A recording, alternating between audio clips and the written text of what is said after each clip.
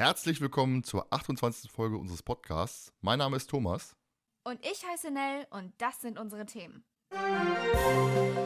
Jugendbande trotz mehrerer Einbrüche als Helden gefeiert. Erster Detektiv Peter Shaw. Mahlzeit zusammen, Thomas hier. Ich begrüße euch recht herzlich zu unserer Besprechung zum weinenden Sarg. Ich bin natürlich wieder nicht alleine. In ihrem Testament steht sehr wahrscheinlich, dass ihre Überreste in einem Park verstreut werden sollen. Sie möchte aber vorher nicht verbrannt werden. Hallo Nell. Hi. So, fühlt sich wenigstens entsprechend äh, des, des, Mottos des heutigen Tages äh, angesprochen. Ja, doch schon. Also von wegen nicht verbrannt werden ist ganz förderlich. Konnte ich nämlich noch als Geist zurückkommen. Ja, äh, wir sind gerade ein bisschen in unserer Supernatural-Phase. Nett, nett, nett schon länger, ich eher neu, von daher. Ja, und wer sich jetzt wundert, Moment, da fehlt doch einer, der darf sich halt den Ausweis ähm, Junior-Assistent der Polizeidirektion Rocky Beach selber ausdrucken. Unser für Trash und Party verantwortlicher dritter Mann, Jonas, wurde gestern ähm, ja, festgenommen, nachdem er betrunken in einer Villa eingestiegen ist und sich zum Schlafen in einen leeren Sarg legen wollte. Nein, nicht ganz. Er ist heute verhindert, von daher sind wir nur zu zweit. Auch mal was Neues. Ja, aber es würde zu ihm passen. Also von daher, ja, Nacht- und Nebelaktion, äh, Hacken voll irgendwo einsteigen und sich einen leeren Sarg zu, zur Ruhe zu begeben. Ja, kann ich mir gut bei ihm vorstellen. ja, kurz zu unserer letzten Folge. Da hatten wir ja den Rollentausch am Anfang. Ich bin froh, dass ich wieder in meine eigene Haut stecke. Also, also wem es nicht aufgefallen ist, ähm, ich habe mich eins zu eins schnell angehört. Von daher ist ah. natürlich, kann natürlich sein, dass man sich da äh, ein wenig irritiert gefühlt hat. Ähm, ich muss sagen, es hat mich so echt so ein bisschen rausgehauen beim letzten Mal. Ne? Also es ist wirklich am Anfang ganz schwer, ähm, dann wieder zurück in seine normale Rolle zu kommen, das zu übernehmen. Seinen normalen Ablauf, gerade ich als älterer Mann, ne, ist natürlich dann so ein bisschen. ja, wobei ich sagen muss, ich, ich hatte da gar nicht so viele Probleme, weil ich musste ja nicht besonders viel sagen. Ja, du warst halt Jonas, ne, von daher. Eben. Ja, aber wir hatten ja auch so, so ein paar lustige Sachen. Also wer unsere, sich unsere Outtakes anhört, der wird äh, merken, dass ich mich mal an falscher Stelle gemeldet habe. Dann war ich plötzlich Jonas und äh, das Gelächter war groß. Also von daher war schon lustig, aber ich bin froh, dass ich wieder ich bin. ja. Ja, kommen wir doch mal zu einem anderen Podcast. Und zwar, ähm, wir hatten ja vor kurzem Thomas von der Zentrale hier zu Gast. Und die hatten ja über Ostern, sprich mit ein bisschen Verspätung, der so im Bereich der Deutschen Bahn liegen dürfte, ähm, dann ihren 17-Stunden-Podcast abgehalten. Ich habe nachts bis 1 Uhr durchgehalten. Ähm, hast du es auch verfolgt? Oder ich, ich habe dich ja ab und zu im Chat gesehen. Muss ich ja zugeben. Also, ähm, ich habe ich konnte nicht ganz bis 1 Uhr nachts durchhalten. Das lag aber auch daran, dass ich bei meinem äh, Großvater zu Besuch war. Es war ja Ostern. Und dann hieß es, jetzt schnell Familienessen, du kommst jetzt her, mach das aus. Äh, das kann doch nicht so wichtig sein. Und ich so, aber ich will das doch eigentlich gucken. aber ähm, nee, es war, es war ganz witzig. Und wie gesagt, ich habe mich ja teilweise auch beteiligt, aber ich war eher der stille Zuhörer oder Zugucker. Ja, vor allem muss man denken, 17 Stunden. Also ich habe ja, wie gesagt, bis 1 Uhr durch, nur durchgehalten. Haben wir noch bis morgens gemacht. Also, ähm, ich weiß nicht, könntest du dir vorstellen, sowas zu machen? Ich meine, ich glaube, ich wäre irgendwann einfach tot nach, weiß ich nicht, sechs Stunden oder was. Ja, ich denke, also ich vermute, bei denen war das auch so. Irgendwann war der Saft dann einfach weg. Aber ähm, ich kann mir schon vorstellen, das zu machen. Ich könnte es mir einfach ultra witzig vorstellen. Alleine deswegen würde ich schon machen. Weil wenn du so, wenn du so keinen Schlaf oder so hast, dann äh, wirst du, äh, also je nach Typ wirst du dann entweder bissig oder ähm, das ist wie beim Alkohol kommt halt ganz verschieden und es wird dann eigentlich immer relativ lustig. Ich würde wahrscheinlich einfach spontan einschlafen wahrscheinlich. Also, dann wirst du dich wecken. ja, wird so mittendrin. Im Moment war was. Also mhm. gerade bei drei Fragezeichen ist ja auch das Einschlafpotenzial relativ hoch, von daher. ja, stimmt schon. Ähm, die drei haben ja unter anderem die Folge Erbe des Meisterlings besprochen und hatten sich gewundert, warum denn der Held der Folge, Wilbur Graham, ich weiß, du magst ihn nicht, ich mag ihn umso mehr, die da Fragezeichen im Museum unbedingt festnehmen lassen wollte. Und da gab es halt eine nette Szene in, in dem Podcast von den, von den dreien. Ähm, Und dann merkt man, dass Kompetenz auch gewürdigt wird. Hören wir doch einfach mal rein. So, ich kriege ja heiße Infos vom Thomas von die 2 Podcast. Okay. Wenigstens, Ah, einer, wenigstens so. einer, der Ahnung hat. Wenigstens einer, der uns mal aus der Bresche hilft. Ähm, warum fordert Graham so eindringlich die Festnahme? Graham war in der Zentrale und hatte Eugenies Brief gelesen. Die Rätselseite fehlte, da Bob die ja mit in die Bibliothek genommen hatte. Stimmt, Bob sagt, ich nehme die mit, wenn ich nach den äh, Bildern forsche. Aus dem Brief folgert Graham, dass die drei Fragezeichen Eugenie Komplizen sind, weil er sie auffordert, die Bilder zu finden und schließlich haben sie ihn ja schon dreimal entkommen lassen. Ne? Super Papagei, seltsamer Wecker und Poltergeist. Ja. Danke, Thomas, aber Das hat der. ich, gla- ich glaube das nicht. Also einmal würde ich unseren Thomas gerne austauschen, weil der scheint Fakten drauf Gerne, zu haben. gerne. Ja, nein, aber ähm, oh ja, jetzt mal ganz ehrlich, er soll dir mal bitte noch mal schreiben, ob er das irgendwo gelesen hat oder ob das so im Buch steht oder so, weil nur das Also, ich- ich- rauszukriegen, dann ist es für mich ein Genie, dann ist Also- es für mich ein Einstein. Er ist für mich ein ein Garant des Wissens. Also ich hätte einen Vorschlag. Ja. Ich gehe zu die zwei, ja, Ja. weil dann können sie sich umnennen in die zwei Thomas, ja. Die haben Und- gerade kommentiert, wollen sie nicht. Ja, das war der Einspieler von dem Zentrale-Podcast. Äh, fand's mit mega witzig. Ja, ich bin ja eh immer einer, der so ein bisschen mehr für die Bösewichte ist. Wobei Wilber jetzt nicht so der typische Bösewicht ist. Aber auch, die Szene hat mich selber auch gewundert. Und ich habe es ja eigentlich nur gewusst, weil wir ja damals bei den Fanatikern zusammen den Erbe des Meisterliebs äh, besprochen hatten. Und ich dazu das Buch gelesen habe. Und da stand es halt drin, äh, wie es dazu gekommen ist. Ja, auch schon, e auch schon ewig her, ne? Ja, schon. Ich weiß nicht, letztes Jahr war das? Ja, ja. Also definitiv letztes Jahr, weil dieses Jahr haben wir fast gar nichts rausgebracht. schon, schon ewig her, aber interessant, interessante Stelle. Ja, Thomas, falls du das hören solltest, bist du natürlich weiterhin herzlich eingeladen. Also, auch wenn ich weiß, du wirst wieder mit Jelena Stories hier angekrochen kommen und mich damit zur Weißglut bringen, aber was soll's. ja, und wer sich die erste Folge von der Feuermondbesprechung der Zentrale anhört, der wird da auch einen kleinen Gastbeitrag von uns hören und wir haben ja noch eine andere Kleinigkeit dazu beigetragen. Weiß nicht, möchtest du verraten oder sollen wir einfach mal alle im. Nein, nein, mach ruhig, mach ruhig. Sagen wir nichts so. Okay, also hört einfach mal rein. Direkt am Anfang, denke ich, gehe ich davon aus, wird es da was zu geben. So, aber genug über andere Podcasts gequatscht. Kommen wir einfach mal zu unserer Folge hier. Und wir starten wie immer mit Nels Nerdschen Nebenfakten. Yes! Also, Nels Nerdsche Nebenfakten. Das Buch stammt von Megan und William Stein und erschien 1985. Der Originaltitel lautet In the Case of the Weeping Coffin und war ursprünglich Teil der Find Your Faith Mysteries. In den USA fand die Serie in den 80ern immer weniger Käufer, sodass man mit Find Your Fate Mysteries eine eigene Serie entwickelte, in denen der Leser die Rolle der Detektive übernimmt und mit Entscheidungen versucht, die Fälle zu lösen.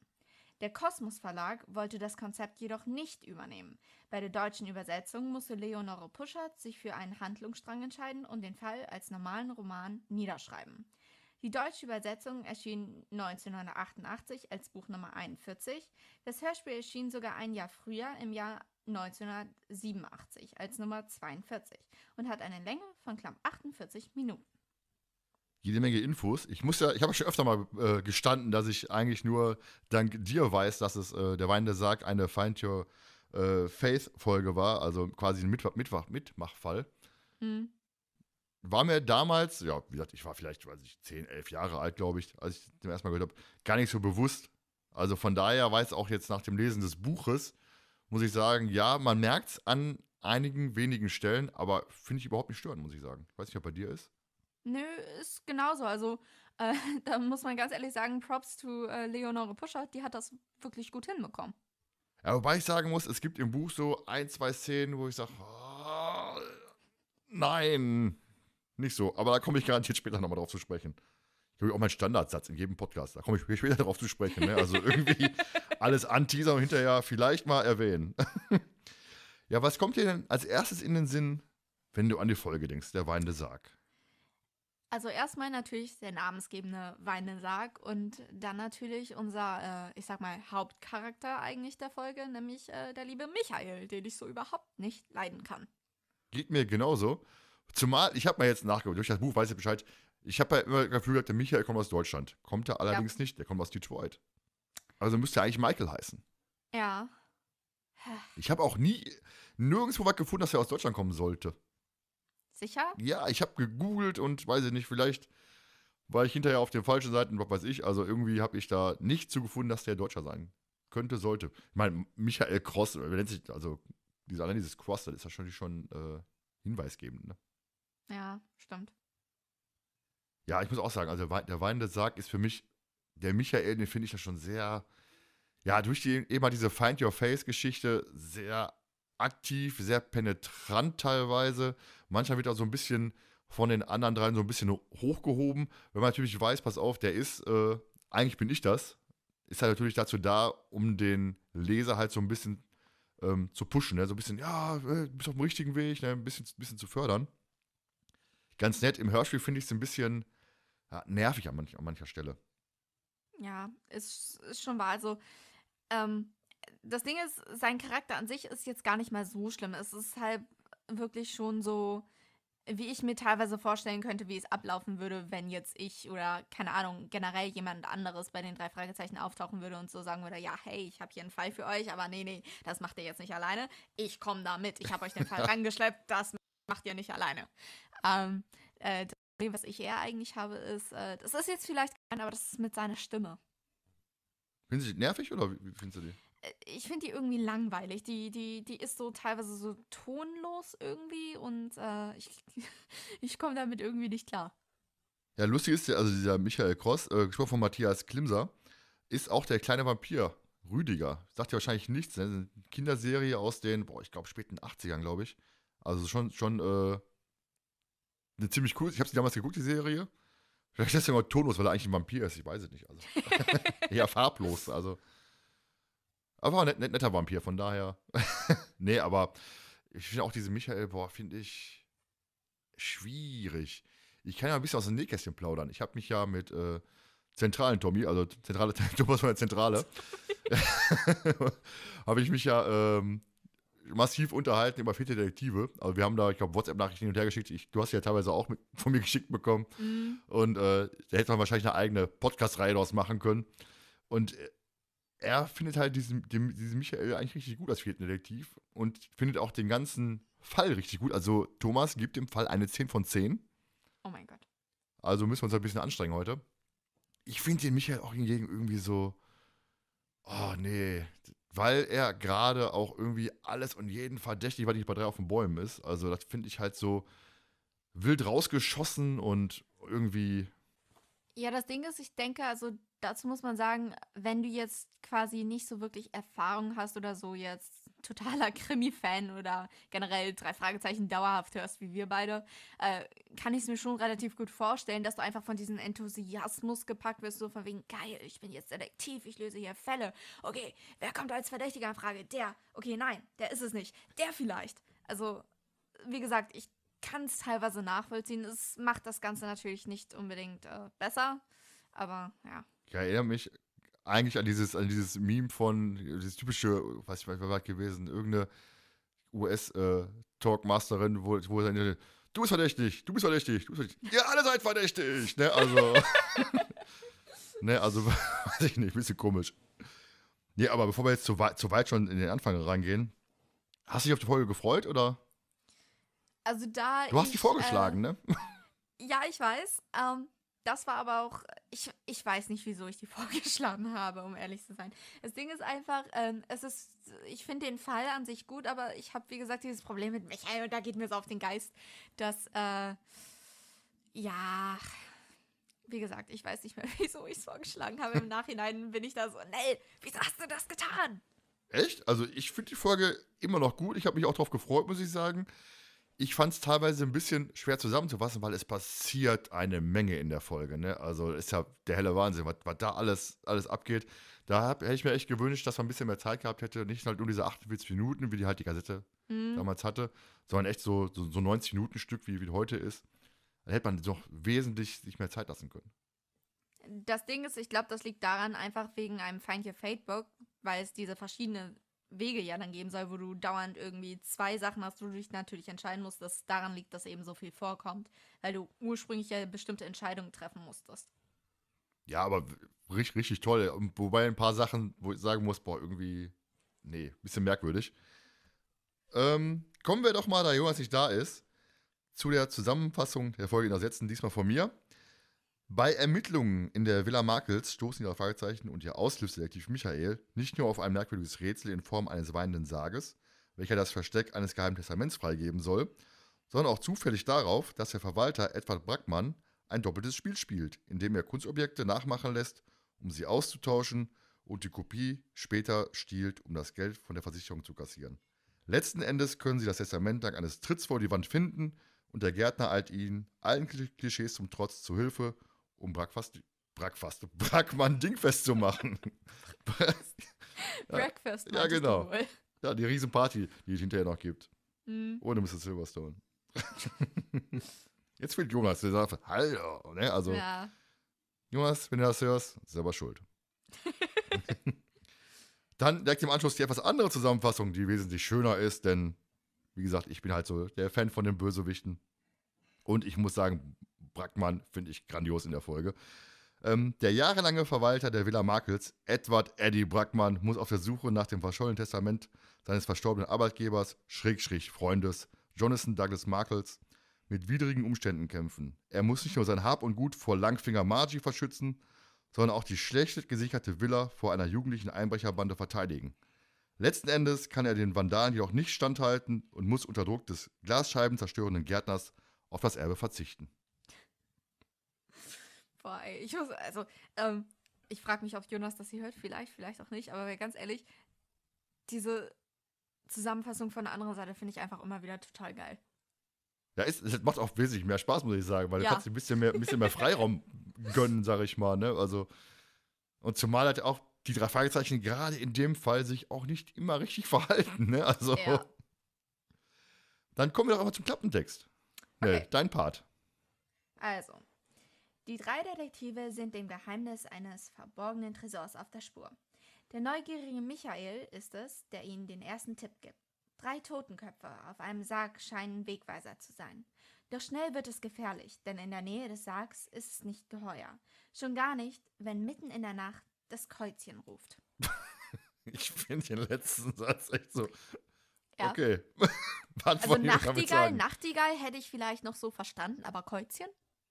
Ja, ich, gebe dich einen Nachtkauz, ich meine schon. Muss ich mal. Es Äh, war die Nachtigall und nicht die Lerche. ja, ist ein anderer Fall. Ich weiß. Rufmord. ja, dann äh, kurz zum Cover. Das Cover an sich finde ich ja richtig, richtig gut, muss ich sagen. Du hast direkt den, den, den, den Sarg ähm, im Vordergrund mit den Totenköpfen. Richtig schön, so ein bisschen, bisschen, oldschoolig eigentlich, ne? Im Mhm. Hintergrund da dachte ich mir als Kind immer, warum spielt der Mann Saxophon? Ja, also, das kam mir ein bisschen komisch vor, aber wenn man halt genauer hinguckt und das, die Folge kennt, sieht man halt den Gärtner, wie er sich mit einem großen Messer die Fingernägel sauber macht, wahrscheinlich. Wie ist ja in dem, ja, ist ja in der, Folge auch so. Er macht sich damit die, die, glaub ich, die Ja, Nägel ja. sauber. Ne, also, also, Cover an sich eigentlich relativ farb, farblos, also in, einem, in einer Farbe gehalten und der Sarg, der sticht halt mit seiner Holzoptik richtig schön hervor. Definitiv. Im Hintergrund halt wirklich mysteriös nur die Silhouette des Gärtners, der Gott sei Dank jetzt hier in dem Klappentext vom Hörspiel nicht genannt wird. Im Buch wird aber quasi schon gesagt, der Gärtner ist gar nicht der Mörder, also ist gar nicht der Ach. Täter. Im Klappentext. Fand ich ein bisschen schade. Ja. Zumal ja in dem ganzen Hörspiel, auch im ganzen Buch, immer wieder mit diesem Klischee gespielt wird. Ne? Er wird ja Mhm. immer wieder verdächtig von allen Leuten. Kommen wir doch zum Beginn der Folge. Ich fange mal im Buch an, denn das Buch startet ein bisschen eher. Und zwar schickt Tante Mathilda die drei zum Großeinkauf. Mit den Fahrrädern natürlich, ne? Wie sollen sie sonst da hinkommen? Wobei ein Großeinkauf mit Fahrrädern, spannende Sache. Naja, mit Fahrradkörben? Ja, haben, haben sie dabei, meine ich, soweit ich weiß. Ja. Und dann im, ähm, im Supermarkt trifft Bob kurz auf Michael, als dieser das letzte Himbeersahne-Eis für Justus quasi aus der Tiefkultur rausnimmt. Heißt, Justus bekommt kein Himbeersahne-Eis. Und dann wechselt halt die Sicht und der Leser begleitet Michael, wie gesagt, ein Junge aus Detroit, dessen Eltern Urlaub in Rocky Beach machen. Die Frage ist natürlich, warum macht man Urlaub in Rocky Beach? Gute Frage. Gute Frage. Obwohl in Rocky Beach ist eigentlich immer was los. Also sei es eine Museumsausstellung mit irgendwelchen bestimmten Bildern, die dann aber längst natürlich nicht stattfinden, weil sie geklaut werden. Äh, oder sei es eine 200-Jahr-Feier oder was auch immer. Aber wie gesagt, in Rocky Beach ist immer was los. Ich kann ja verraten, warum die da sind. Im Buch steht es nämlich. Und zwar, ähm, jetzt bin ich aber kurz, kurz verrutscht. das ist live. äh. Nein, die Familie macht im Urlaub in Rocky Beach, weil der Vater vor fünf- 15 Jahren einen Tauchunfall hatte und ein Junge hat ihm das Leben gerettet. Er konnte seinen Retter nie ausfindig machen und wie sich später herausstellt, hieß dieser Junge mit Vornamen Grady, oder er wusste, er heißt mit Vornamen Grady und es war Grady Markles, der ihn gerettet hat. Oh mein Gott. Also richtig schöne Okay. Geschichte. Wow. Ja, er wusste nur seinen Vornamen und hinterher, er konnte ihn hinterher auch beschreiben, wie er aussieht und es passte auf Grady Markles und ähm, er konnte Grady aber nie treffen, Ah. weil ähm, Grady im Buch zwischendurch mal weg ist. Hm. Wo erzähle ich hinterher? Mein Standard. Muss ich mir auf so einen Touch-Button legen, dass ich ihn, Hm. erzähle ich hinterher. Bleiben Sie dran, das erfahren Sie später. ja, dann kurz zurück ins Hörspiel. Und zwar ist es ja so, dass dem Erzähl Erzähler erzählt, der Erzähler erzählt, ist auch immer ganz schön. Wir erfahren vom Erzähler, dass eben halt ähm, die Mutter von Michael, Mrs. Cross, ähm, ihren Sohn quasi von einer Sehenswürdigkeit zur nächsten schleppt. Äh, einmal quer durch, durch Rocky Beach, wo es anscheinend mehr zu sehen gibt, als man vielleicht vermuten mag. Unter anderem auch in die Villa Markels, die angeblich ja ähm, das, äh, die größte Sehenswürdigkeit ist in Rocky Beach, die hinterher leider nie wieder auftaucht. Hm. Da sind wir so ein bisschen beim Thema Beständigkeit. Ne? Also wäre schön, wenn die Villa Markets dann vielleicht bei Folge 52 nochmal Thema wird. Ich meine, da gibt es ja vielleicht noch mehr zu entdecken. Wäre eigentlich ganz nice, oder? Ja, schon. Ähm, wobei ich sagen muss, jetzt vielleicht, also, ähm, mir würde es besser schmecken, in Anführungszeichen, wenn sie eher dann vielleicht mal so in einem Nebensatz oder so im Vorbeifahren erwähnt wird. Weil, ähm, ob da jetzt wirklich mehr zu entdecken ist, bezweifle ich. Ach, die schönen großen, schönen großen Keller oder so. Und Tresor sind ja auch immer schön. Also ich finde generell die, die Villa als Setting, was, wie findest du denn die, die Villa als Setting jetzt an sich in der Folge? Ähm, an sich eigentlich relativ gut, wobei ich äh, wirklich nicht mit dem Gedanken klarkomme, dass es wirklich nur diese so eine Villa ist, sondern wirklich eher eigentlich immer an ein Museum denken muss, was es ja auch eigentlich ist.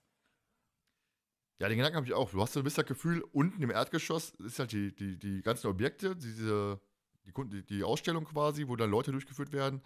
Und äh, Grady und äh, Edward Eddie Brackmann, die wohnen quasi oben Ja. irgendwo. Und äh, ein bisschen merkwürdig. Stell dir mal vor, du wohnst in der ersten Etage, unten laufen da Leute durch die Gegend und gucken sich deine Klamotten an.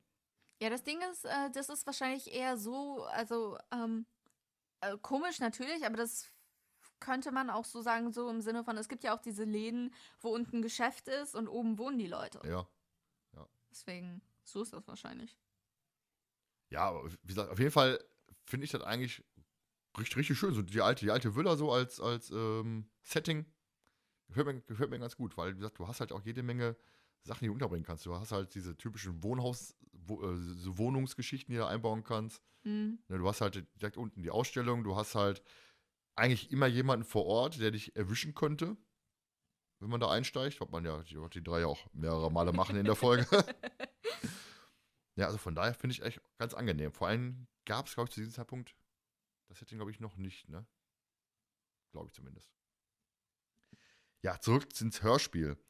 Ja, ähm, um der Langeweile zu entkommen, die dieser Michael ja in Rocky Beach hat, dank seiner Mutter unter anderem, sucht er nach den drei Fragezeichen, von denen er schon ähm, öfter mal gehört hat, laut Buch von einem Brieffreund aus Los Angeles. Heißt, ähm, gut, die, die drei Fragezeichen werden in Detroit wahrscheinlich nicht so häufig Thema sein. Heißt, er hat von einem Brief von aus, aus LA Infos bekommen, auch wo er sie ungefähr zu finden hat. Ja, das Ding ist dabei, muss ich ganz ehrlich sagen, in Erkunde mir die Scheiße. Wo liegt denn Detroit? Ähm, ich, boah, jetzt, ich glaube im, im Norden, ne? Nordöstlich, glaube ich. Mein doch. Und L.A.? LA ist ja im äh, ja, Süden? was, Südwesten, muss Südwest? das sein, Oh. glaube ich, oder? Ja, klar. Sü äh, klar. Ja, wenn ich, dann. wenn ich falsch liege, schneide ich es einfach raus. ja, Detroit ist, glaube ich, die, die Autostadt, meine ich. In Amerika. Ja, ich weiß, die haben eine Eishockey-Truppe, das weiß ich. Von Äh, da, also das einzige Detroit, was ich kenne, ist von einem Videospiel. ja, kenne ich auch. Und äh, den Hit von, von, oh, wie heißt die noch? Äh,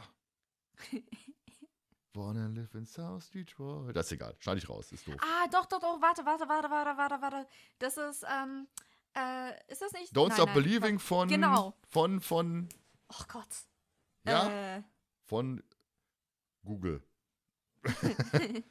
das Schlimme ist, das Lied habe ich schon so oft gehört, ne? Von Journey, ich depp. Da musst du nicht wissen, du bist, du bist zu jung dafür. Ich, ich eigentlich fast auch. es gibt auch diese Momente, wo ich zu jung bin. ähm, zurück ins Hörspiel. Ähm, wir sind ja live in der Führung und bekommen damit, wie Margie Albright ein paar Hintergrundinfos raushaut. Ähm, sprich, Jonathan Markles hatte zu Lebzeiten ein erfolgreiches Unternehmen zur Herstellung allerlei Tresore. Und so sind auch in der Villa jede Menge Tresore. Und fast hinter jedem Bild ist einer versteckt. So, und die Mutter von Michael versucht ihn ja dauernd zu begeistern. Ne? Ach, guck mal die Vase hier und guck mal hier. Und, Ah. ne? Ah, ne, also, der arme Junge wird quasi von seiner Mutter gequält. Kann man einfach so, so stehen lassen, glaube ich, oder? richtig malträtiert. Grausam. Und die Vase, Michael, oh, die ist schon. Oh, Mutter, was ich denke mir auch mal, lass mich in Mhm. Ruhe mit der Vase. Die ist eh eine Fälschung, wie wir hinterher wissen. Wahrscheinlich ist das auch eine Fälschung. ne, und dann Michael stößt dann ähm, schließlich auf den weinenden Sarg, der ihm im Buch sogar noch eine, viel größere Anziehungskraft. Er ist wirklich davor und guckt sich halt wirklich alles Detail genau an. Die ganzen Totenköpfe mit den Tränen in den Augen. Da fällt, fällt ihm auch schon auf, dass die ähm, auf dem Gemälde, äh, sieht ja auch dass sich das Gemälde richtig genau an und sieht dann auch, oh Moment, ist er seitenverkehrt, fällt ihm da schon auf am Anfang. Hm. Und ähm, er ist da wirklich hin und weg von und so wirklich fasziniert. Also fand, fand ich sehr, sehr schön zu lesen. Ja, und wie es so ist, wird noch erwähnt, dass eben halt Markels hatte den Sarg schon lange vor seinem Tod gekauft und wollte sich eigentlich darin und, diesen, und in diesem Raum bestatten lassen. Hat es allerdings nicht gemacht. Wie wir halt wissen. Was hältst du denn von dem, von dem Sarg als Objekt? Jetzt äh, generell so als Objekt einfach äh, von wegen Sarg oder jetzt im Zusammenhang mit dem Hörspiel? Mit dem Hörspiel jetzt natürlich. Ja, mit, den, mit den Tränen drauf. Ich meine, es ist schon sehr mysteriös. Also mysteriös definitiv, vor allen Dingen, weil Sarg von wegen Leiche, Tod ist ja immer auch so, also mitgehangen, mitgefangen mit dem Thema. Ähm, aber sobald man eben weiß, so von wegen, äh, ja, der wollte sich ursprünglich da drin bestatten lassen und jetzt ist der Sarg hier und hat er doch nicht gemacht, da kommt natürlich die Frage auf, wieso? Genau. Das ist ja auch so eine Frage, die sich die drei oder die vier hinterher stellen. ne, aber ich finde auch, so, so ein Sarg ist halt immer so was Mysteriöses, ne? So was auch ein bisschen, Hm, weil da hast du wirklich mit, mit Tod im Zusammenhang und ja, ist auch nicht immer ein ganz angenehmes Thema, muss ich sagen. ja, das stimmt. Ja, wie gesagt, trotz aller Bemühungen von Mrs. Cross ist Michael dann doch ähm, sehr schnell gelangweilt und schaut sich halt die anderen Leute so an, ne? Also, ihm fällt dann sofort jemand auf mit einem roten Schnauzbart, der alles fotografiert. Und sofort, der vermutet er, dass er etwas plant. Wie fandst du denn den, den Moment, wo er sagt, der plant etwas? Dazu muss ich ganz ehrlich sagen, ähm, in dem Moment konnte ich ihn so nachvollziehen, weil das, das habe ich auch, vor allen Dingen, als ich früher in meiner äh, Phase, in meiner Sherlock-Phase, also die habe ich teilweise noch immer, aber äh, wenn mir langweilig war, habe ich wirklich versucht, an den kleinsten, also wirklich Menschen mir in meiner Umgebung anzugucken und dann so, okay, okay, wie macht ihr das, was er macht, ist f- na, habe ich so überlegt, okay, äh, beziehungsweise mein Lieblingsspiel war dann tatsächlich, äh, was ich dann auch mal im Restaurant, während wir aufs Essen gewartet haben, gespielt haben, äh, mit meinen Eltern oder meiner Mom einfach nur, dass wir dann immer äh, versucht haben herauszufinden, ob unsere Bedienung Rechts- oder Linkshänder ist. Einfach daraus, wie wir beobachtet haben, äh, wie er die Sachen bedient oder so. Und ähm, ich lag meistens richtig, muss ich sagen. Sehr stolz auf mich war ich da immer. Aber ähm, deswegen, ich kann das in dem Moment relativ gut nachvollziehen. Und es ist natürlich auch erstmal ein bisschen, äh, wie heißt das deutsche Wort? Merkwürdig. Ja, genau, merkwürdig, ähm, dass er das alles eben fotografiert und so. Zum einen könnte er einfach auch natürlich einfach nur Reporter sein, aber dann würde man sich natürlich fragen, okay, das Ding ist jetzt eine Attraktion, die in Rocky Beach schon seit mehreren Jahren steht, wurde nicht neu eröffnet oder so. Wieso sollte ein Reporter hier sein? Deswegen ähm, kann ich mir schon relativ gut vorstellen oder beziehungsweise in dem Sinne nachvollziehen, dass Michael denkt, okay, der plant jetzt vielleicht irgendwas. Ja, zumal ich jetzt mal einen drauf. Im Buch steht nämlich, dass der Michael den roten Schnauzbart darauf hinweist, dass er vergessen hat, den Objektivdeckel abzunehmen. So, und da fragt man sich natürlich, der ist am knipsen wie doof, wenn der Profi sein möchte, warum ist denn der Objektivdeckel auf der Kamera? Heißt, er hat richtig schöne, viele schwarze Bilder. Autsch. Gut, vielleicht, man hat ja früher die, die alten Fotoapparate, du guckst ja quasi oben durch diese, durch diese Linse, sag ich mal. Und du siehst ja nicht, ob das Ding zu ist oder, oder, oder auf. Damals Mhm. zumindest nicht. Heute, ne, wenn, du- wenn du was vom Handy hast oder von einem Ja. Digitalkamera, hast du sofort ein schwarzes Bild, denkst dir, okay, Moment, irgendwie ist das hier entweder jetzt ziemlich dunkel oder ich habe der Objektiv noch drauf. Von daher. ja, dann direkt die nächste Aktion, die nächste Verdächtige. Und zwar ähm, ist er erstmal dabei, dass Michael ja erstmal den typischen Gärtner verdächtigt, ne? Irgendwas, Ach, irgendwas zu ja. machen. Der Mann da drüben, der hat ein großes Messer. Ne? Also, der hat schon irgendwas vor. So richtig schön, so den, den, du merkst halt am Anfang, es werden viele Leute eingebracht, die irgendwie verdächtig sein sollen, damit wir hinterher was, Mhm. was zum Auflösen haben im Endeffekt, ne? Und dieses Klischee, der Gärtner ist der Mörder, das war gerade in der Zeit, ist wie ein Horrorfilm, dass eben halt zuerst sterben die Dunkelhäutigen. Ist äh, früher so oft, oft, sehr häufig so gewesen. Dann war es hinterher, sterben die, äh, die, die, die, hübschen, die hübschen Mädels am Anfang als, als, als erster Kill. Und die, die Dunkelhäutigen überleben nie, so es gewesen, genau. Es wird ja, glaube ich, auch bei, bei Deep Blue Sea, glaube ich, auch ein bisschen auf die, auf die Spitze getrieben. Bei dem Film kennst du wahrscheinlich nicht, ne? Schöner Film. Geht um Haie. Oh, scheiße. wird so ein bisschen auf die Spitze getrieben und ähm, ja, das ist halt bei dem Gärtner jetzt so, so typisch klischeemäßig. Ja, und dann haben wir ja den Aufschrei der Frau, Ja. die ja dann ähm, plötzlich feststellt, dass die Reisechecks und ihr Brillenetui gestohlen worden sind. Hast du denn die Stimme erkannt? Nein. Und zwar ist die Sprecherin dieser Besucherin Beate Hasenau, die auch bekannt ist als Amanda Black. Ernsthaft? Ja, und die hast du nicht erkannt. Ähm. Nee. Ich auch nicht, aber muss ja keinem verraten.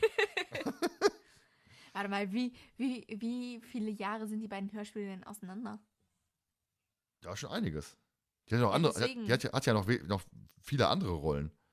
Hm. Ne? Also, also, aber siehst du mal, wie, wie ich finde die einfach nur grandios. Die ist auch richtig, richtig gut gespielt. Ne? Also, gerade Amanda Black finde ich, finde ich richtig, richtig gut. Und auch hier in der, in der Szene, wie sie dann erst so, so aufschreit und völlig in Panik ist und ruft die Polizei und, ne, und dann kommt halt Margie. Übrigens, Margie, gesprochen von äh, Monika Gabriel, die die Tila in Masters of the Universe spricht. Kennst du wahrscheinlich auch nicht, ne? Also Tila ist quasi, doch, da musst du mal die Serie gucken, die jetzt auf Netflix ist. Da ist sie auch großes Thema. Aber lassen wir das an dieser Stelle. Und ja, Margie macht natürlich auch verdächtig, indem sie ihr, der Besucherin, ja dann die Schecks und das Etui wieder zurückgibt und sagt, lag dort hinten auf dem Fußboden. Das heißt, wir haben direkt den Mhm. nächsten Verdächtigen. Wir haben erst einen Schnauzbart, dann wird der Gärtner erwähnt. Jetzt haben wir Margie, die im Buch dann auch noch ein bisschen anders verdächtig ist, weil Margie im Buch halt nicht sagt, habe ich auf dem Fußboden gefunden, sondern lag dort hinten auf der Fensterbank. Was natürlich noch merkwürdiger ist, weil Ja. Sagt, sagt Michael auch, ne? Michael sagt dann auch, nee, also das passt ja irgendwie vorne hinten nicht. Warum sollte das auf der Fensterbank liegen, ne? Fußboden ist so noch eine nette Ausrede, aber Fensterbank ist so ein bisschen, ah, bisschen merkwürdig. Wie hast du denn Ma Ma Margie äh, empfunden am Anfang? Also sie war mir halt wirklich so ein bisschen suspekt, vor allen Dingen, weil dieses äh, von wegen Sache ist weg und dann auf dem Fußboden wiedergefunden, bringt dir diese Person halt wieder. Es ist, es ist ein typischer äh, Taschentrick. Die, was, ach, wie heißt denn das? Taschendieb. Taschendiebtrick. Ja, von mir oder so. Ja, Ja, also mit, mit zurückgeben wahrscheinlich eher weniger, aber ähm, sie hat lange, nee, nicht unbedingt, nicht unbedingt. sie hat lange Finger gemacht, hatte man den Eindruck, also sie war einem sofort suspekt, die Frau, ne? Ja. Ja, dann kommen wir doch einfach mal jetzt schon zu deiner Lieblingsszene. Also, meine Lieblingsszene. Es ist dann ja so, dass Michael ähm, dann äh, in seiner freien Zeit dann erstmal fragt, ob er ähm, äh, noch irgendwas zu tun hat, beziehungsweise er sitzt ja, glaube ich, am Mittagstisch mit seinen Eltern, richtig? Sitze, was weiß ich gar nicht mehr. Sitze mit seinen Eltern mit, das kann, kann Ja, sein. weil er dann so fragt von wegen, äh, ja, wollt ihr heute noch irgendwo hin? Ja, ich möchte da und dahin, habt ihr was dagegen? das ist Und dann macht er sich ja auf dem Weg, dann macht er sich auf dem Weg zum Schrottplatz, weil wie gesagt, er hat ja von den drei Fragezeichen gehört und möchte denen jetzt halb erzählen, was da er, beziehungsweise was er da alles in dem äh, Museum, nenne ich es einfach mal, äh, mitbekommen hat.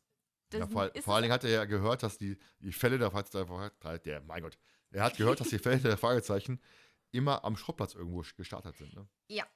Genau. Und deswegen, äh, ich bin mir da wirklich nicht sicher, wie er es anstellt. Vielleicht guckt er einfach oder stößt durch Zufall darauf. Aber er landet dann ja im Endeffekt durch einen der Geheimgänge in der Zentrale. Ähm, was ich mir auch einfach wirklich extrem witzig vorstelle. Stell dir mal vor, du bist so in deinem, sag ich mal, geheimen Hauptquartier mit deinen Freunden und auf einmal wächst da so ein Kopf aus dem Boden heraus. Ja, ich kann dir sagen, wie er, wie, wie er da hingekommen ist. Er hat wohl davon gehört, dass es diesen Geheimgang gibt und er auf ein, auf ein Fischauge drücken muss. Ne, sprich, er kommt, er, er kommt dann dahin und sagt dann, jo, weißt du was hier, ich suche den Zaun danach ab, findet dann auch dieses, dieses Fischauge, das, das grüne Tor, geht dann dadurch auf den Schrottplatz und dann eben halt durch Tunnel 2 in die Zentrale. Und in Tunnel 2 wird er noch fast begraben, weil der ist gesichert mit alten Gartenschläuchen und Lampen und ganzen Kram. Äh, reißt sich auch die Hose auf, kriegt hinterher schönen Anschluss von seiner Mutter. Und ähm, ja, aber jetzt stell dir echt mal vor, da- du sitzt da mit deinen Mhm. Mädels in der Zentrale und da kommt plötzlich einer rein. Also ich hätte anders reagiert als die drei Fragezeichen. Ich könnte mir das so richtig schön vorstellen. Mara wäre wahrscheinlich total ausgeflippt. Äh, Lotte hätte erstmal draufgehauen, egal was es sein Ja. würde. Ähm, und äh, ich wäre wahrscheinlich tot. auch erstmal so. äh, ich wäre wahrscheinlich auch erstmal so, what the fuck gewesen. Aber ähm, die drei Fragezeichen reagieren dann ja doch schon noch etwas anders, wo ich sagen muss, das, das hat mir nicht so ganz so geschmeckt, weil wenn du dich hier an den Fall mit dem äh, goldenen Gürtel erinnerst, wo am Ende ja auch die kleinen Lilliputaner da eben reinkommen und den Gürtel haben wollen, da haben sie ja auch vollkommen anders reagiert. Ja, klar. Vor allem soll ja alles geheim bleiben, ne? Und dann, eben. Und dann kommt da plötzlich einer rein. Ach, guten Tag, was du denn hier? Setz dich doch hin, wolltest du Cola Ja, haben? ja. Erzähl doch mal, Michael, wie geht's dir? Wo kommst du her? Was willst du Das, hier? Fand ich ein bisschen oh, unpassend.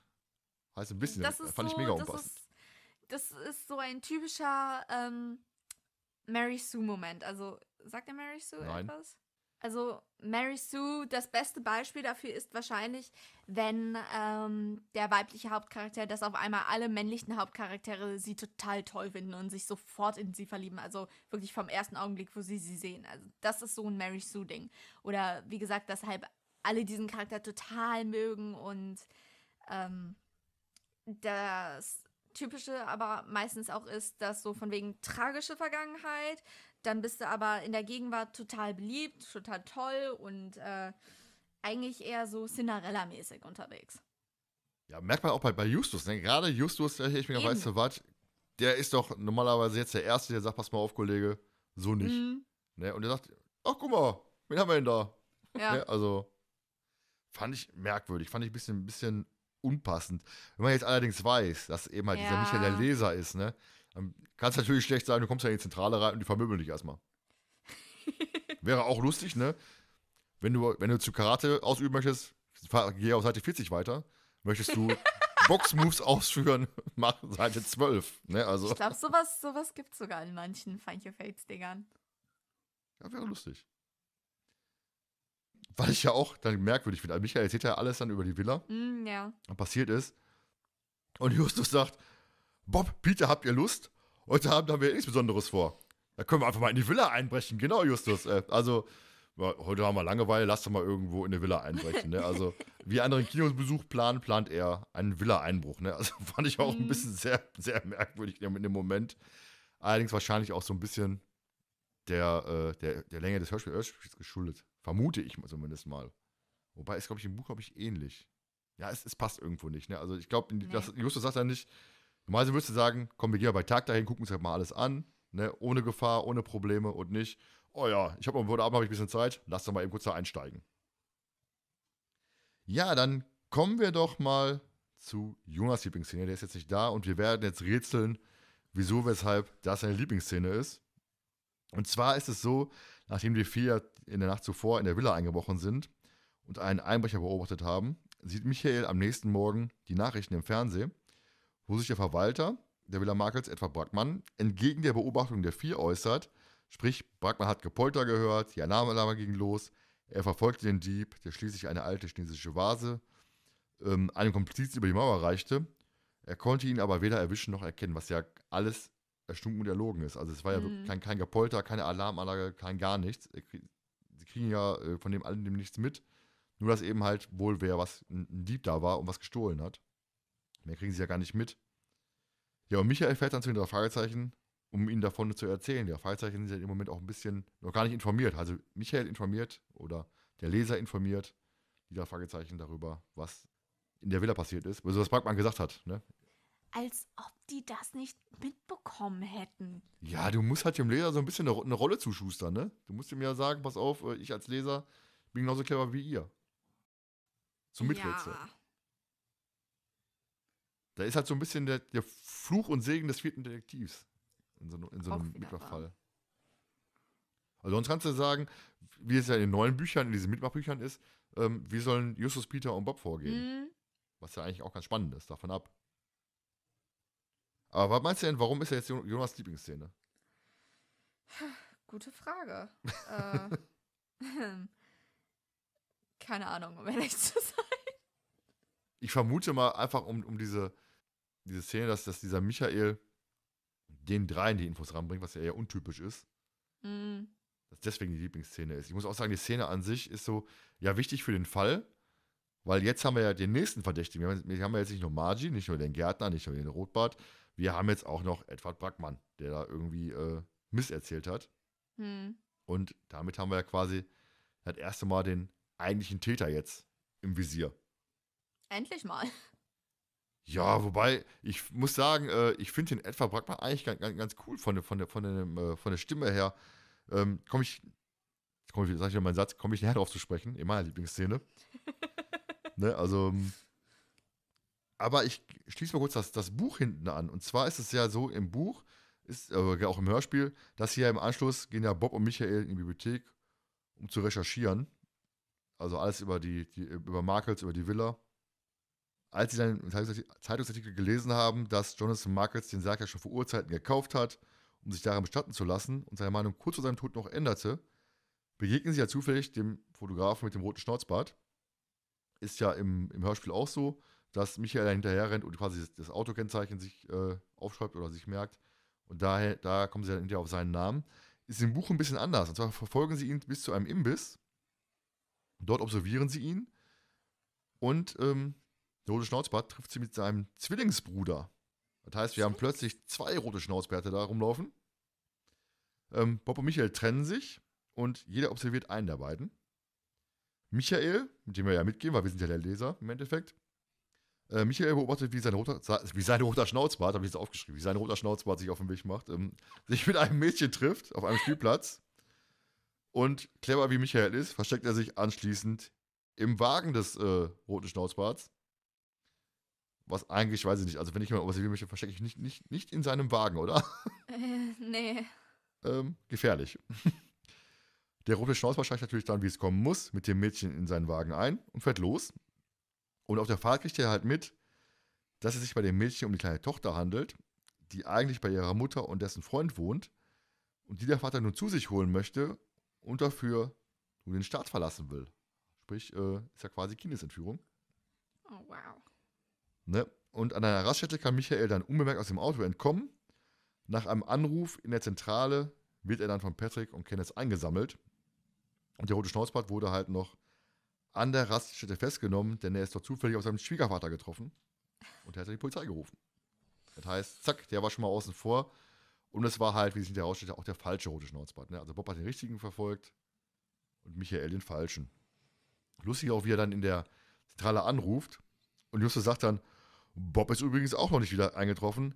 Er hat uns allerdings bisher erspart, sich als Detektiv auf heiße Spur gleich über Dutzende von Kilometern verschleppen zu lassen und anschließend den Rettungsdienst zu rufen. Ja, also er kriegt der Michael erstmal schön einen vor den Latz geknallt, aber Michael ist ja äh, im Buch noch ein bisschen, ah, weiß ich, ich finde ihn unsympathisch. Ne? Er sagt dann, Justus, du lässt das jetzt gefälligst nicht länger über, diese, über dieses kleine Missgeschick und ich posaune dann in meiner Klasse in Detroit nicht aus, was für eine prachtvolle Figur du früher als Baby Fatso im Kino gemacht hast. Ich hätte gesagt, weißt du was, Michael, bleib mal auf der Raststätte, sieh mal zu, wie du klarkommst, ne? Also, Wollte ich gerade sagen, das ist ja eher so ein Jelena-Comeback. ne, also schon. boah, das ist so, nee, weiß ich nicht, fand ich unsympathisch. Ja, wie wir halt wissen, ist ja Bobs roter, roter Schnauzbart dann äh, eben halt jener Humphrey Wassing, der das Kunst- und Antiquitätengeschäft führt, wo die vier dann auch eben halt mit dieser Vase vom Schrottplatz hingehen, wo sie ja Michael auch richtig zur Sau machen. Schrott, Trödel, sowas führen wir ja nicht. Wir haben ja nur ne, wertvolle Ware. Mit der Vase gehen sie ja halt zu dem ähm, Humphrey Wassing, der dann auch sagt, äh, es ist ein Unikum, ihr kriegt hier 20 Dollar für und äh, das, das könnt ihr zufrieden sein, die sind ja für jeden von euch fünf. Und dann kommt ja die Assistentin, die mir im ersten Moment ein bisschen unsympathisch ist. Die kommt da hin und sagt ja, zeig mal her, ich bin die Ja. Assistentin von Humphrey, Mr. Wassing. Ich sag mir, ach du Scheiße. Aber sie dann auf, pass mal auf, das ist kein Unikum, das ist ein Unikat. Das ist 200 Dollar wert. Ne? Und ähm, Peter, dein Peter, geht dann hin und schaut sich die Vase an und lässt sie dann fallen. 200 Dollar im Eimer, wie ja Bob so schön sagt. Ne? Also, Peter ist da sehr ähm, unbeholfen, ne? In dem Moment. Ja. Möchtest du ihn verteidigen? Kann ich in dem Fall nicht. Außer vielleicht zu sagen, dass es typisch in diese Ära passt. Ich habe ja noch eine Info, ne? Von einem anderen Podcast, den wir eingangs mal erwähnt haben. Thomas hat sich ja ähm, damals auch das ähm, Find Your Face Original äh, durchgelesen. Und es ist so, dass dieser Moment eigentlich dem Leser gilt. Ne? Also der Michael lässt eigentlich die Vase fallen. Und das ist auch das Ende des Falles. Das heißt, die drei sind so sauer, dass sie dich links liegen lassen und alleine weitermachen. Oha! Ja. Fand ich eine sehr geile Info. äh, pff, Das heißt, könnt jetzt, schieben die das einfach Peter in die Schuld? heißt, äh, wir, wir, können, wir, wir können jetzt Peter loswerden und wir haben demnächst Justus, nee, Micha nee, und Bob. Nee, nee, dann höre ich das Zeug nicht mehr. Justus, Micha und Bob. nee, muss ich auch nicht haben. Also von, von, von daher. Ja, aber, ne, aber finde ich auch ganz interessant, wie dann Leonore Puschert das eingebaut hat. Ne? Also, so hast du halt den Humphrey Wassing quasi aus der Geschichte raus. Denn wie sich hinterher herausstellte, hat eben halt der Brackmann ihn wirklich kontaktiert. Er soll sich dann doch mal umschauen, was er gerne haben möchte. Deswegen hat er auch die Fotos gemacht. Also er hatte wirklich Dreck am Stecken. Er hatte, deswegen hat er die Fotos gemacht, um sich mal Mhm. anzugucken, ach, was könnte ich mir denn hier mal aus der Ausstellung so gönnen. Ne? Also so hast du hast Humphrey Wassing quasi aus der Geschichte jetzt quasi raus. Supermarkt mit äh, ganz raren Antiquitäten. nice. Ja, da kommen wir schon zu meiner Lieblingsszene. Quasi eine Doppelszene im Endeffekt. Ne? Also, weil ich diesen Kontrast zwischen Grady, Markels und Brackmann mag. Die vier sind ja immer ausnahmsweise bei einer ganz normalen Führung. Also tagsüber in der Villa, ganz legitim, ganz legal. Mal nicht abends, äh, nicht mal, nicht mal eben eingebrochen. und wollen die Ausstellung bei Tageslicht unter die Lupe nehmen. Und sie wollen auch Grady Markels besuchen, der halt im Obergeschoss der Villa wohnt. Und da haben wir ja den Moment, wo dann eben mal dieses Durchgang Verbotenschild ist. Justus sagt dann eben halt, so etwas ist für einen Detektiv gerade zu einer Aufforderung weiterzugehen. So, und halt jetzt deine News, ne? Erster Detektiv Peter mal jetzt äh, in Mhm. Angriff zu nehmen, ist es im Buch so, dass Peter Justus nachäfft und sagt dann, die erforderlichen Ermittlungen im vorliegenden Fall rechtfertigen es wohl, dass wir uns durch solche Vorschriften nicht aufhalten lassen. Ne? Also, und Justus merkt halt auch, dass, dass eben halt ähm, Peter ihn so ein bisschen nachäfft und sagt dann, ja, wo gehen wir hin? Gehen wir jetzt die Treppe hoch oder bleiben wir hier unten, gehen wir ins Büro rein? Ne? Und Peter ist so ein bisschen, äh, Moment, er, also er, Hm. er schießt so ein bisschen zurück. Fand ich ganz witzig, schade, dass es nicht, nicht im Hörspiel ist, muss ich sagen. Finde ich auch tatsächlich schade, weil äh, das Ding ist, es zeigt einfach nochmal, wie viel die drei doch zusammen abhängen, weil ähm, das kannst du ja nicht einfach so, also da brauchst du, um quasi, sag ich mal, deinen besten Freund oder so jetzt, oder wie wir das hier gemacht haben, nachzuäffen oder generell so, wie er sich quasi auszudrücken, da muss man ja schon doch relativ viel Zeit miteinander verbracht haben. Ja, dann auf jeden Fall. Ja, vor allen Dingen, es zeigt ja so ein bisschen, bisschen auch die, die Freundschaft zwischen den dreien, dass sie so ein bisschen auch mal ein bisschen Mhm. hochnimmt, ein bisschen mit, mit, mit Witz an die Sache rangeht, obwohl man halt in der Nacht zuvor dann in die Villa eingebrochen ist Ja. äh, und die ganzen Geschichten, die man da erlebt hat. Also ganz, ganz easy peasy, mal ein bisschen auf den Arm genommen.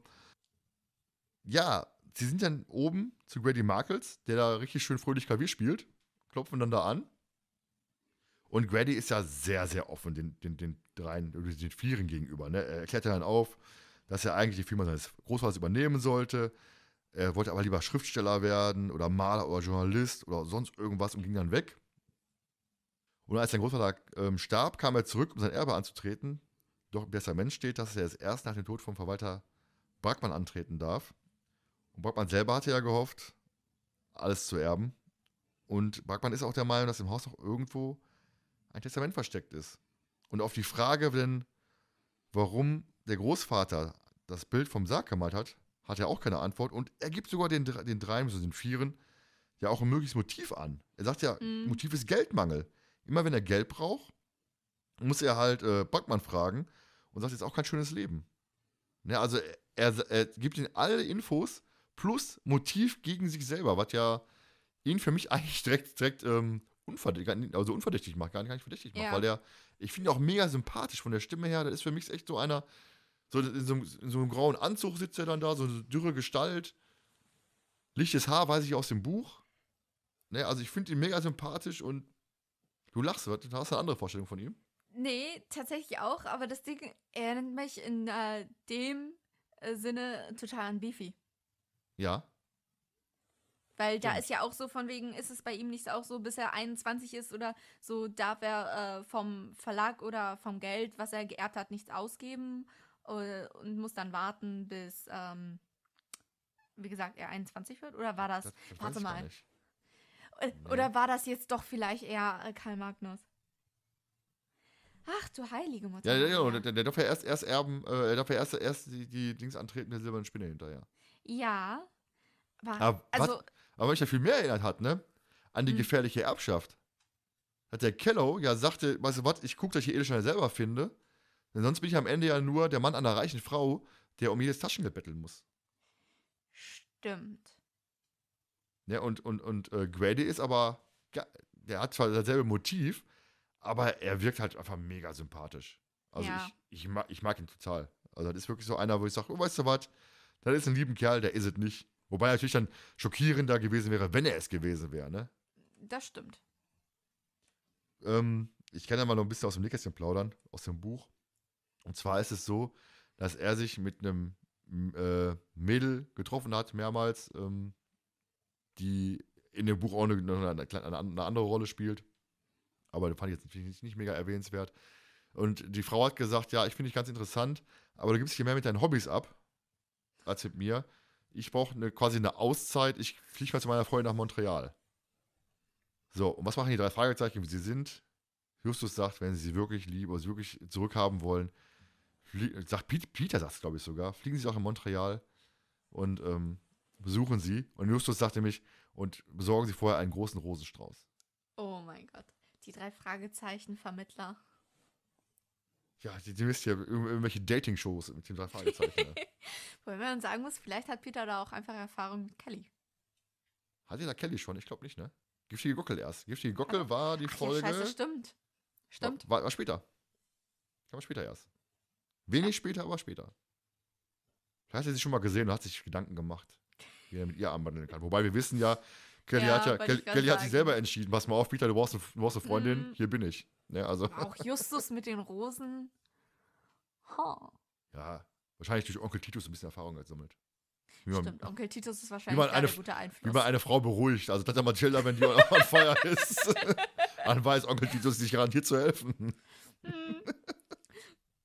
Ja, wie gesagt, welcher lustig finde, ist der, der, der Kont- Kontrast zu, zu Edward Brackmann. Sie machen dann die, die Tür zu, erstmal ziemlich geil, sie machen die Tür zu und instant geht die Klaviermusik wieder an. Ne? Also instant sitzt dann Grady Marcus wieder an seinem Klavierchen und spielt Klavier. Äh, Er hat endlich wieder Besuch gekriegt, ne? Oder er freut sich, dass er vielleicht nach Montreal fliegen darf, ich weiß es nicht. Zu seiner Angebeteten. Sofort geht die Klaviermusik wieder vollspann los, was ich ziemlich gut finde. Und sie erwischen dann eben halt Margie bei Brackmann im Büro den Schreibtisch durchwühlen. Ähm, ist halt so, wenn man erstmal generell, wir haben ja schon Margie so als, als, als Langfinger schon so ein bisschen Trickdieben-mäßig Mhm. und haben wir schon, schon besprochen. Im Buch ist es dann wirklich so, dass sie hinterher Margie auch noch verfolgen und stellen fest, dass sie halt Geld geliehen hat und sie konnte es nicht zurückzahlen. Deswegen war sie so ein bisschen unter, unter Druck. Naja, das heißt, sie hat auch Dreck am Stecken, aber an anderer Stelle. Hm. Ähm, Margie ist ja relativ schnell weg. Sie sagt ja, ich Ja. suche hier, ich suche hier einen Brief. Im Buch heißt dann auch, sie sucht einen Brief, die hat den Besucher ihr mal gegeben und ähm, sie fand ihn so rührend. Brackmann hat ihn, hat ihn ihr weggenommen, hat, sie, hat ihn mal liegen lassen. Dann hat ihr Brackmann ihn eingesackt und sagte, konzentriere dich mal lieber auf deine Arbeit hier, statt den Brief da zu lesen. Ne, also Margie spielt dann auch die, die, Liebeskarte aus im Endeffekt und sagt, ja, das ist ein Brief von einem Besucher. Den wollte ich wieder zurückhaben. Die arme Maus. ja, und dann kommt ja, nachdem Margie weg ist, Brackmann rein und ist ja erstmal richtig sauer. Er will sie ja auch verscheuchen, ne? Äh, Was macht ihr? Ihr habt die jetzt zu suchen. Und ähm, geben mir auch die Karte. Und dann sagt Herr Brackmann, die Fragezeichen stehen wohl für mangelndes Benehmen, was? also Mhm. richtig sauer. Gut, verständlicherweise auch. Ne? Er, die kommt, er kommt da in sein Büro, der ist durch die Schreibtisch durchwühlt. Die, da stehen drei, drei Fremde oder vier Fremde im Büro. Und er, das ist ja erstmal so ein bisschen, wäre ich auch 180, wenn einer in meinem Büro stehen würde. Und Justus spielt ja dann erstmal seine, du kommst, aus- kommst aus dem Gefängnis Freikarte. Sprich, ja, bevor sie die Polizei rufen, hier unsere Visitenkarte. Ne? Also sofort ähm, als Legitimation, wir sind die Diebe, wir dürfen das.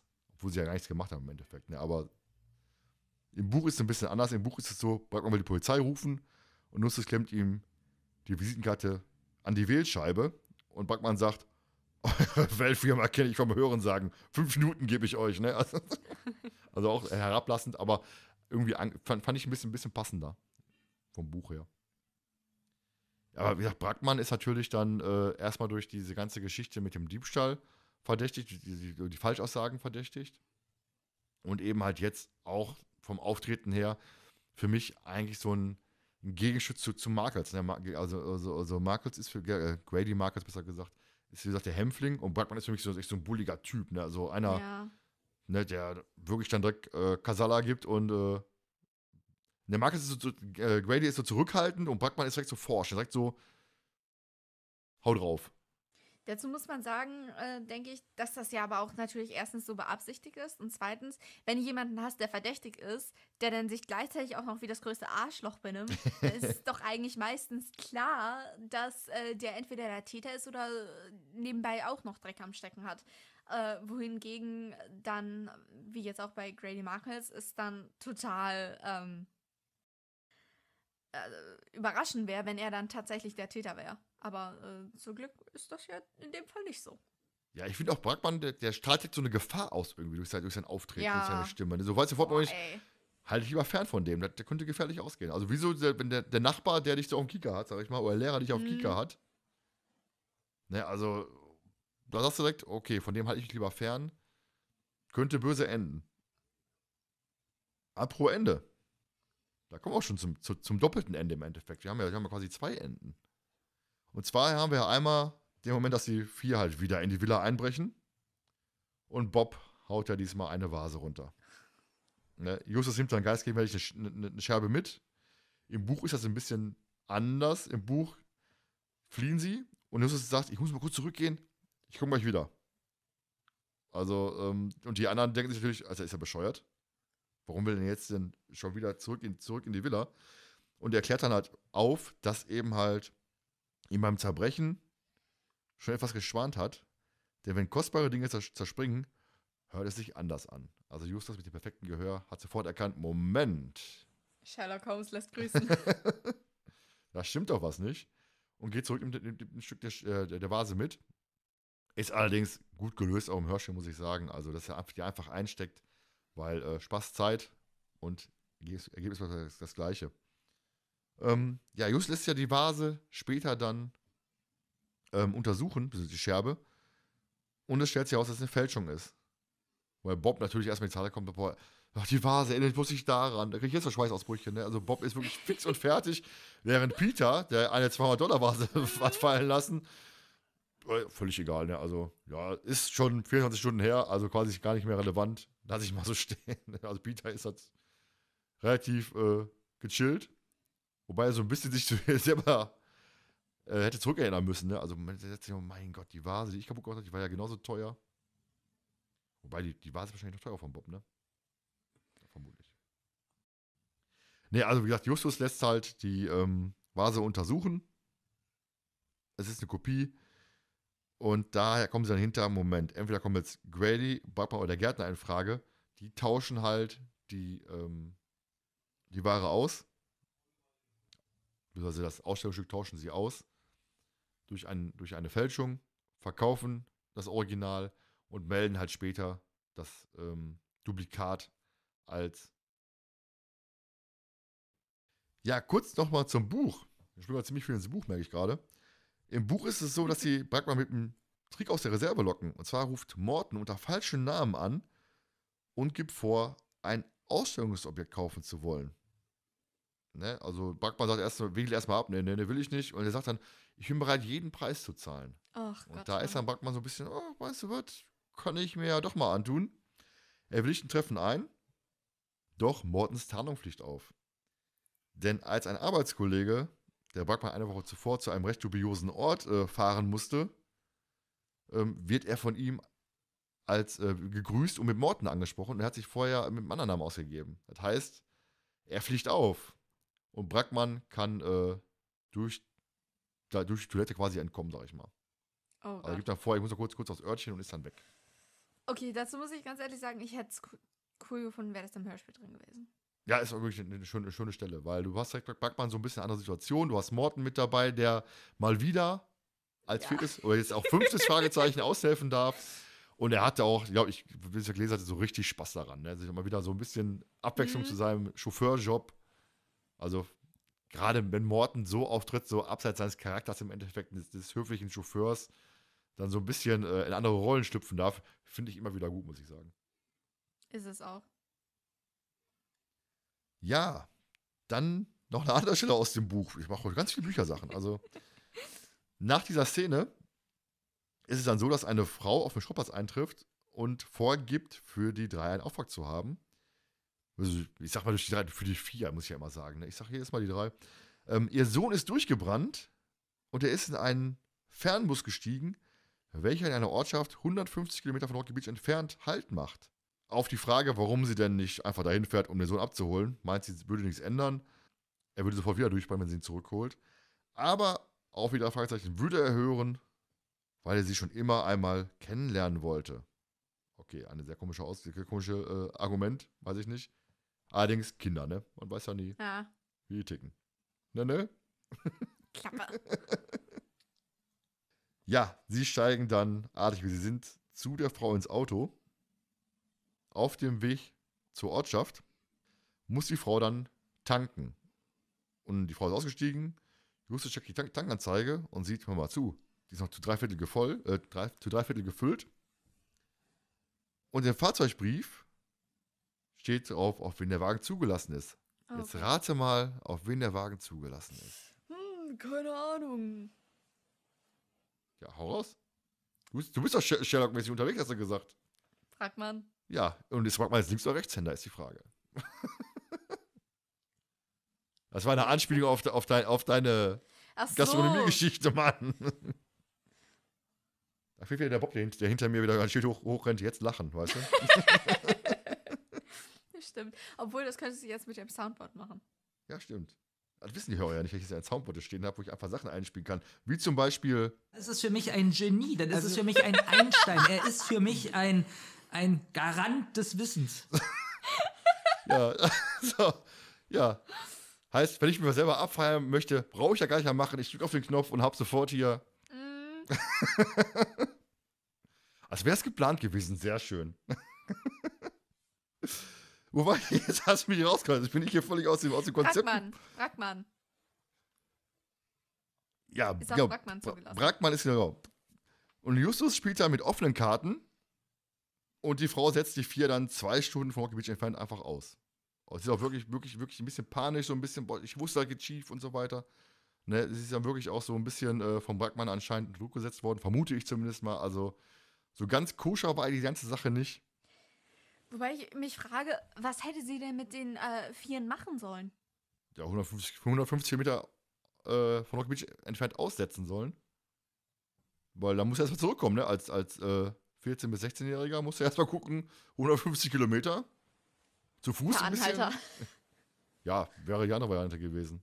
Du hast ja kein Handy mit. Dann, ja, aber. äh, Also, ich finde das ein bisschen unsinnig. Ja, auch, das ist ja einfach nur, wahrscheinlich, sie, sie sollten ihn, glaube ich, wegbringen, damit Brackmann irgendwie, glaube ich, ein Geschäft abwickeln kann, glaub, vermute ich mal. Irgendwie so, glaube ich, was war, war das, glaube ich, gewesen. Aber Brackmann wollte sie halt erstmal aus dem Weg, also als, als Warnung halt, ne? Ich meine, Mhm. wenn du dann wirklich als, als, als äh, Teenager, Jugendlicher dann plötzlich am Arsch der Welt ausgesetzt wirst, wo halt nur der Fernbus hält und nichts anderes, ist schon ein bisschen, ein bisschen Panik, ne? Ein bisschen Okay, Normalfall. Stimmt schon heutzutage wahrscheinlich dann eher nicht so, weil von wegen Handy und so, aber Ja, vor allem nächster nächste Bahnhof oder sonst was ist wahrscheinlich auch um die Ecke.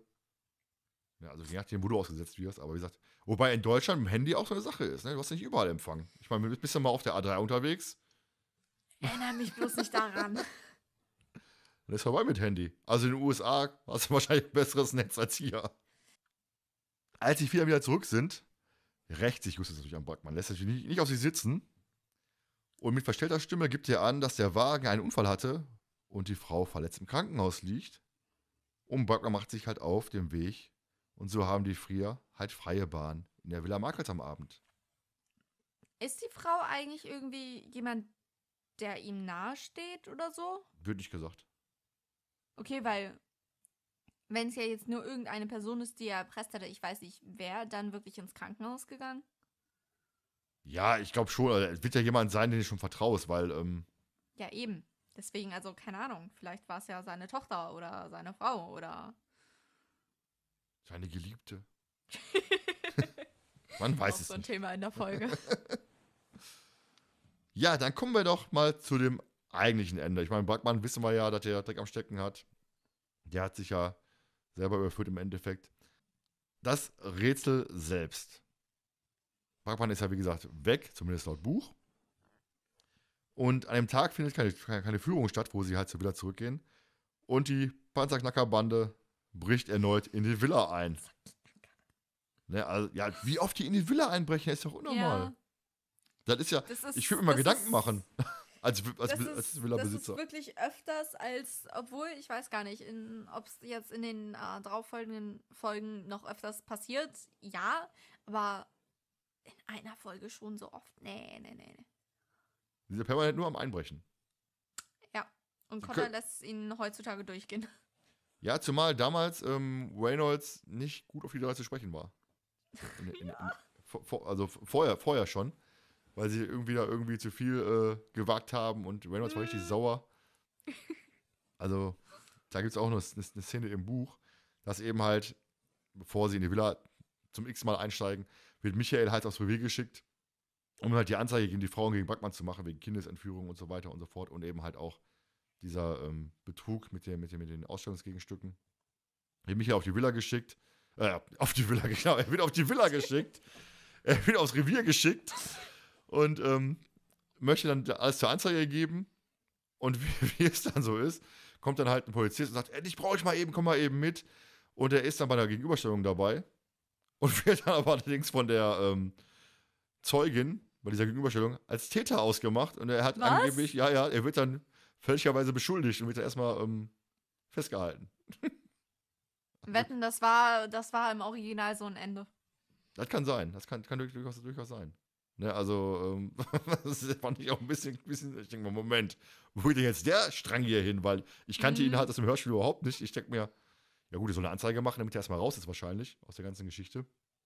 Und dann wird er da einfach mal eben äh, festgehalten, weil er eben halt Das war zu ist. 100% ein Ende. Das erinnert mich voll hier an äh, bei unserem Buch, wo sie dann in das Haus gehen und dann von wegen, weil sie es ja nicht dürfen, dann verwiesen werden der Insel. Ja, die Gefängnisinsel war, glaube ich, ne? Ja, ja. glaube ich. Ja, kann durchaus sein, dass, dass es ein Ende gew gewesen ist. Ist, glaube ich, mal ganz spannend, man, man herauszufinden, was waren denn eigentlich so die, die Enden, ne, die man, wo man verkacken konnte in, in, im, im Ja, da müssen wir unseren Tommy fragen. Er weiß ja aber auch nicht alles, wie man ja gehört hat. Ja, aber er hat's gelesen. Ist richtig. Naja, machen wir weiter. Kommen wir dann zum Rätsel. Ja, an dem Tag ist ja keine Führung. Die vier brechen halt in die Villa ein. Sie untersuchen noch einmal den Raum, stellen noch einmal fest, dass die Totenköpfe auf dem Bild seitenverkehrt gemalt sind. Auf dem Bild hat der Totenkopf links am meisten Tränen. Auf dem Sarg selbst ist es der rechte Totenkopf. Schaut man sich die Gemälde allerdings mit Spiegel an, sind die Verhältnisse, Verhältnisse wieder richtig. Wenn man sich das Bild im Spiegel betrachtet, erscheint darin Markels Bild mit dem Tresor dahinter an der Wand links von dem Sarg. Auf dem Bild selbst ist das Bild dahinterliegend, mit dem dahinterliegenden Tresor rechts von der Wand. Ist, äh, ich glaube, vorgelesen mega kompliziert, im Hörspiel nicht ganz so kompliziert. Wie gesagt, ich hatte da echt Probleme beim- Zusammenfassen, weil da wirklich dann links, rechts, wo ist was, Spiegel, Ja. Originalgemälde. Ähm, Justus, schlie schil Justus schließt dann daraus, dass rechts von der Wand also ein versteckter Tresor sein muss. Ja, und dann Wie kommen sie halt auf den Tresor? Nell, möchtest du sagen? Ah. Ist es Peters Tritt? Ja. Ja, siehst du. Haben wir wieder dieses, dieses äh, Element von wegen, äh, Peter ähm, löst zufällig eventuell den Fall. So, und pass mal auf, wenn ich dir jetzt sage, dass im Buch eigentlich Justus vor Wut vor die Fußleiste tritt und dann die Wand ausspringt, dann weißt du wieder, Moment, der arme Peter muss sie wieder herhalten. Ich krieg einen Kollaus. Das, das, das, das ist doch echt einfach unmöglich. Ja, andersrum ist ja aber positiv. Ich meine, Justus war halt sauer, da er nichts gefunden hat an der Wand und tritt dann halt vor Ja, Wut. wieso ändert man das dann? Weiß ich nicht. Wenn mit Peter auch was zu tun hat. Was ist der Peter in dem Fall? Der ist ja das fünfte Rad am Wagen. Scheiße, stimmt. Außer die Vase fallen lässt und eigentlich Mir- rausfliegen mir- muss. Mir äh, graut es schon vor unserer Lieblingsdetektivwahl. Ja, dann, wie gesagt, Tresor ist gefunden und auf dem Tresor steht dann nochmal ein kleines Rätsel. In Großbuchstaben steht da drauf, dem glücklichen Finder eine allerletzte Hürde. Und dann unten drunter als Notiz, mein Geheimnis, 1A-Qualität, wie alle meine Tresore. Der Spiegel wird helfen. Die kommen dann hinterher drauf, dass sie jeweils den ersten Buchstaben des großgeschriebenen Wortes ihrer Stellung nach im Alphabet zuordnen müssen. Also 1 ist gleich A. Und der Hinweis, der Spiegel wird helfen, gibt ihnen anschließend vor, dass sie die umgekehrte Reihenfolge eingeben müssen. Dieses 1 gleich A, muss ich gestehen, habe ich mir mal geklaut. Ich habe ich hab ja mal, äh, ich hab mal Jugendfußballtrainer gewesen und bei einer Abschlussfahrt bei einer Schnitzeljagd habe ich dieses 1A auch benutzt. Und äh, die Kies kam auch da drauf. Fand ich ein ganz nettes Rätsel, fand ich kindgerecht, wurde auch gelöst. Von daher ähm, fand ich eigentlich ganz nett, muss ich sagen. Vor allem auch was zum, Mhm. zum, zum Mitüberlegen, ne? Ist Moment. es auch. Tatsächlich, der Witz an der Sache ist, dieses früher, äh, dieses 1a haben wir früher in der Grundschule tatsächlich immer benutzt und haben dann äh, in Zahlen unsere Botschaften auf Zettel geschrieben und so weitergereicht. Das war immer dann ganz witzig, wenn unsere Lehrerin kam und so war, jetzt gib mir mal den Zettel, das lese ich jetzt laut vor der Klasse vor. Und dann musste ich die, die ganzen Nummern vorlesen. Lese ich jetzt vor. 1, 8, 5, 7. Das war so geil. Hat er wirklich vorgelesen? Ja, geil. aber sie hat es halt nie richtig gecheckt. Ja. Ja, vor allem wieder mehrmals passiert. Ne? Du liest dich jetzt laut vor stehen wir so Zahlenreihe und denkst dir, okay, Moment, der hat anscheinend keine drei Fragezeichen gehört. Ja, sie hat es dann auch tatsächlich irgendwann gelassen, weil äh, ich denke, sie dachte, wir verarschen sie. Weil es gab natürlich auch andere Zettel, wo dann wirklich was drauf stand. Leider. ähm, aber äh, war schon extrem witzig. Das glaube ich. Das glaub ich. Wenn die da vorne steht und Zahlen vorliest, ist schon, schon schön, ey. Ja, wie gesagt, sie öffnen halt den Tresor und finden dann im Inneren äh, das Testament, wo drauf steht, ähm, dass der Finder des Tes- Testaments bestimmen darf, wer denn alles erben soll. Grady oder Brackmann. Wobei ich im, im Moment erst dachte, wo sie dann jubeln, dass, dass sie denken, boah geil, jetzt dürfen wir alles erben. Oder hast du auch so das, das, Gefühl gehabt? Oder? Also ich denke eher, das war so von wegen, yes, geil, wir haben das Rätsel jetzt gelöst, wir haben das Testament gefunden. Wir dürfen jetzt denjenigen bestimmen als Erben, den wir besser fanden von den beiden. Natürlich den sympathischen, nicht das Arsch. Ja, vor allem wird dann im Buch auch ein bisschen deutlich, warum er Jonathan Markles ähm, so, so gehandelt hat. Und zwar war er sich unsicher. Er schreibt nämlich noch im Testament, vielleicht habe ich Grady Unrecht getan, als ich ihm vorwarf, nicht wie ich selbst zu sein, statt ihn so anzunehmen und zu lieben, wie er ist. Vielleicht war ich auch Edward Brackmann gegenüber, in meiner letzten Lebensphase zu misstrauisch und undankbar gegenüber, hat er doch viel für mich getan. Das heißt, er war sich einfach unsicher, wem kann ich vertrauen, wem kann ich das Geld geben und wie man ja am Ende sieht, auch zu Recht. Ja. Ne, also, äh, bevor, bevor er jetzt den Fehler gemacht hat, Brackmann alles zu geben und Grady außen vor zu lassen, hat er gesagt, weißt du was, ich mache ein Testament und derjenige, der ähm, das Testament findet, darf dann bestimmen, wer alles bekommt. Wäre das für dich auch was? Wo du sagst, weißt du was, wenn ich mir sicher bin, mache ich Testament und sag mir, was mal auf, wer das findet. Fände ich schon geil irgendwie, so, ne? ein Testament zu hinterlassen mit so einem Rätsel. Mm, Ich war, ich war tatsächlich äh, am überlegen, wenn ich Testament, dann so eher wie hier der alte Knacker aus äh, Gefährliche Erbschaft. Bingo. Das fand ich schon ziemlich geil. ähm, so richtig auch schön mit Beleidigungen und so einfach, weil ich meine, die können wir ja eh nichts mehr anhaben. Das ist richtig. Ja, aber schon, schon irgendwie cool. Ne? Nur Problem, Problem- problematisch, wenn jetzt jeder plötzlich sein Testament in Rätsel verfasst und sein Erbe irgendwo versteckt. Stimmt schon, aber äh, nee, könnte ich mir tatsächlich vorstellen. Und dann aber bitteschön äh, noch auf meinem Grabstein sowas stehen haben wie Tschüss, ihr Loser oder so. Ja, oh, wie halt den Feuermond, ne? Hast du die Welt gesehen? Hast du viel gesehen? Mm. So ist die halbe Wahrheit. Ja, aber ich finde generell diese Testamentsgeschichte eigentlich generell immer ziemlich nice. Testament, äh, Erbe Ja. mit Rätseln dahinter haben wir ja in einigen Folgen. Der finde ich immer wieder sehr spannend, weil du kannst ja den Typ auch nicht mehr befragen. Der ist halt um. Ne, also von futsch. ja, von, von daher kannst du sch- schlecht danach fragen. Du musst halt auf, auf, auf eigene äh, Art und Weise das, das Rätsel lösen. Also von daher finde ich sowas immer sehr spannend. Klar, darf ich nicht, auch Victor Eugenie hatte ja ein Ja. Testament quasi hinterlassen. Aber wir wissen, der ist noch da. Rätseltestamente hinterlassen nur die Besten der Menschen. Ich mache auch eins. ich auch. Aber weh, ich muss dann irgendwas Schwieriges bei dir lösen. Was, wenn ich dir was vererbe? Auch ein guter Punkt. Einen leeren Kasten, kannst einen leeren Kasten Wasser haben oder so. Also immerhin 3,30 Euro, 3,30 Euro Pfand. Kann ich irgendwo vergraben, dann kannst du den ausbuddeln. Oh, stell ich mir lustig vor, ey. Oh. Schön den Wasserkasten verbuddelt, ey. Wasserkasten. Immerhin kein Alkohol. Da wäre wär ja zu teuer, ne? Ja.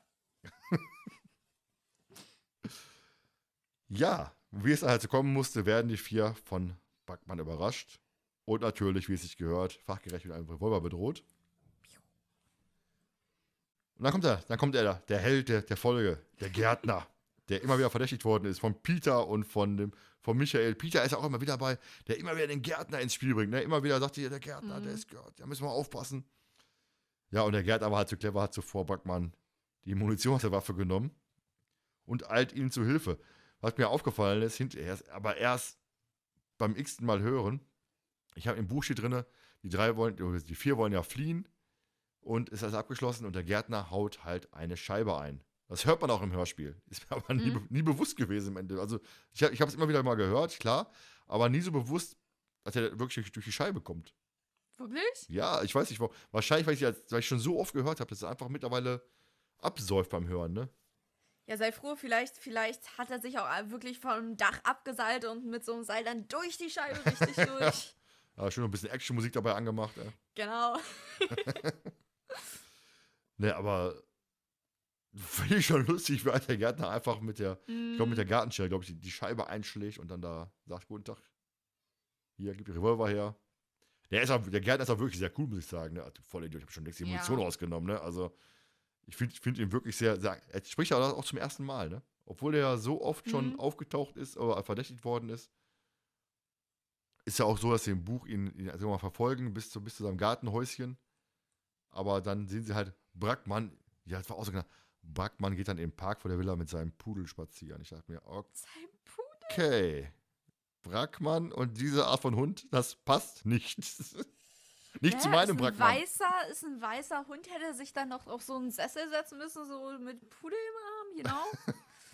Da, stell dir mal vor, wie Brackmann da mit dem, mit dem Köter durch den Park spazieren geht. Das, komm, Daisy, mach dein Häufchen. Ne, also das passt nicht zu meinem Brackmann. Das ist vielleicht ein Wolf oder so, ja, aber kein Hund. Oder, nicht so ein, oder so einen großen Schäferhund oder so, was ich irgendwie gehört. Ein Oder so eine, Pudel. eine ja, Pudel, was ich gehört so ein Mops oder so, weißt du. Das passt nicht zu meinem Brackmann, muss ich sagen. Na, immerhin kein Chihuahua. Ja, so ein Handtaschenhündchen, das ist ja dabei, weißt du. oh Mann, ey. Ja, wie gesagt, Brackmann hat überrumpelt und sie setzen halt let letzten Endes äh, Grady als Erben ein. Wobei ich den Abschlusslacher eigentlich diesmal ganz gut finde, muss ich sagen. Er ist ja oft so ein bisschen so, sagst, boah, nee, der Abschlusslacher ist so ein bisschen, ah, nee. Ähm, Peter sagte dann zum Gärtner, ich dachte immer, sie wären der Bösewicht. Ich meine, das Messer und so. Na, na, Peter, das Messer brauche ich für Gartenarbeit. Und nicht immer ist der Gärtner der Täter. Und dann sagt dann hinterher dann auch der Gärtner nochmal, wenn du mich auf dieser Party mit einem Messer siehst, Peter, ich brauche es nur zum Torte schneiden. Ja. Ne, also nimmt Peter so ein bisschen hoch, was ich ganz witzig finde Hm. und auch passend an der Stelle, weil der Gärtner halt so oft verdächtigt worden ist. Ja. Da wurde schon extrem mit dem äh, Klischee gespielt. Ja, aber auf, auf eine schöne Art und Weise. Ich weiß gar nicht, ob man halt als damaliger, na gut, als 14- bis 16-Jähriger hast du schon Krimis gesehen, von daher das, das schon. Ne, aber ähm, das war, ist ja dieses, wirklich dieses typische Gärtner-Klischee, pass mal auf. Der Gärtner ist der Mörder, ne? Also, Der Witz an der Sache ist, ähm, das ist mir gerade eingefallen, weil es gibt sogar ein Lied darüber, dass der Gärtner immer der Täter ist. Und ähm, äh, das, das weiß ich, weil wir das damals in der Grundschule, ich war da im Chor, ich war im Chor, glaube ich, ähm, äh, immer gesungen haben, weil in dem Lied ist quasi wirklich die Geschichte erzählt, so dass es so einen reichen Typen gibt und da sterben alle miteinander immer weg. Aber zum Schluss stirbt dann eben aber auch der Gärtner und dann stellt sich im Lied heraus, dann in der letzten Strophe, dass der Butler der Täter war. Und vorher im Refrain hieß es immer, der Gärtner ist immer der Täter. Und im letzten Refrain heißt es dann immer, der Butler ist immer der Täter. was habt ihr in der Grundschule für komische Lieder gesungen? wo Leute ermordet werden. Ja, und dazu muss man ganz ehrlich sagen, das war eins meiner Lieblingslieder. Komisch. Wir haben es aber auch nie gesungen, weil die anderen es immer so komisch fanden. Und ich war so, hey, das ist doch voll geil. Ja, voll geil, da wird einer umgebracht. ich bin unschuldig, ich hatte Blockflötenunterricht, also von daher. War damals auch so, so typisch, ey, Grundschule, Blockflöten und boah, Ja. Scheiße, ne. Auch nur erfunden, um Kinder zu quälen, glaube ich, ey. Oder die Ohren der Lehrer, ich weiß es nicht. Also, Eins von beiden. boah, Katastrophe. So, jetzt sind wir gar nicht auf die Stimmung eingegangen im ganzen Hörspiel, ne? Also, wir haben ja mehrfach so, also die Villa an sich, haben wir schon drüber gesprochen, aber wenn sie dann nachts einbrechen, finde ich ja Ja. eigentlich immer mega spannend. Ne? Also wirklich dann ähm, dieses, dieses Dunkle und ähm, die könnte jederzeit einer, einer kommen, der, der die sieht, weil das Haus ja bewohnt ist. Finde ich eigentlich mega spannend, muss ich sagen. Das Ding ist, als ich die Szene dann noch äh, gehört habe, hab, hat sie mir irgendwie extreme Nacht- und Angst-Vibes gegeben. Einfach wegen der Spannung an sich auch und wegen dem Dunkel und Museum in Anführungszeichen. Okay. Hatte ich, hatte ich so gar nicht. Ich fand einfach gener- generell diese, diese Stimmung ganz geil. Du hast ja, die sagen ja dann auch von wegen, ja, wenn das, wenn das, wenn der Mond auf den äh, Sarg Mhm. scheint, dann hört man, hört man heulen. Du hast einfach so ein bisschen dieses bisschen unheimliche, ein Hauch von Grusel, jetzt nicht so, nicht so extrem wie beim Gespensterschloss oder so. Aber du hast da schon, schon irgendwie so ein bisschen so ein Unbehagen. Ja. Und dazu halt Brackmann als, als Bösewicht, der dich erwischen könnte. Schon, schon sehr, sehr nett, muss ich sagen. Also gefällt mir richtig gut. Die Stimmung im ganzen Hörspiel ist wirklich, wirklich ja, fast perfekt, sag ich mal. Stimmt schon, das haben die alten Hörspiele aber auch wirklich häufig an sich. Ja, Gott sei Dank. Also, ja, das, das haben wir schon drüber gesprochen bei Heimlichen Hehler, ne? dass so ein bisschen die Atmosphäre Ja. ein bisschen flöten geht bei, bei den neueren. Aber gerade hier, hier braucht es ja auch gar nicht viel, ne? Hier braucht es ja wirklich Mhm. nur. Ich habe auch immer das Gefühl, so die Villa, das ist so ein, unten, das ist so ein bisschen, bisschen muffig, so ein bisschen staubig, so ein bisschen, Ja, ne? Also. wirklich alt einfach. Ja, genau, genau. Ja, also deswegen finde ich auch die, diese ganze Atmosphäre und diese ganze, dieses ganze Unbehagen bei Nacht. Ne, da hast du dann, du die Treppe zu, zu Grady hochgehen, so ein bisschen, bisschen, bisschen, bisschen quietschig, bisschen knatschig, so eine alte Treppe, wo sie hochgehen. Da auch das Büro vom Brackmann, das ist so, so mit alten, schweren Möbelstücken be, äh, besetzt. Ne, also ich, das ist wirklich, das ist für mich alles so, so alt und so verstaubt und aber eigentlich geil, so ein bisschen, ich sag mal, urig im Endeffekt. Ne? Aber urig und te- teilweise unheimlich, einfach durch das Alter. Mhm. Und dann hast du auch den Sack da stehen. Ne? Also, ja, der Sarg. ja, dann sind wir eigentlich schon durch mit der Folge. Dann kommen wir doch jetzt zum heimlichen Schnappschuss. Hast du da irgendeine Szene, wo du sagst, weißt du was? Ja. Und zwar ähm, meine Lieblingsszene auch tatsächlich, äh, wie Michael seinen Kopf in der Zentrale da rausschreckt, so wirklich, aber auch so teilweise so hau den Lukas mäßig. Also, ja, ja, auch geil. Hörst du, hat auch diese, diese Platte am Kopf, wo quasi die, Abdeckung ist von, der- von der Zentrale von unten und so, guck, guck. und die drei gucken ihn so an. Äh, Moment.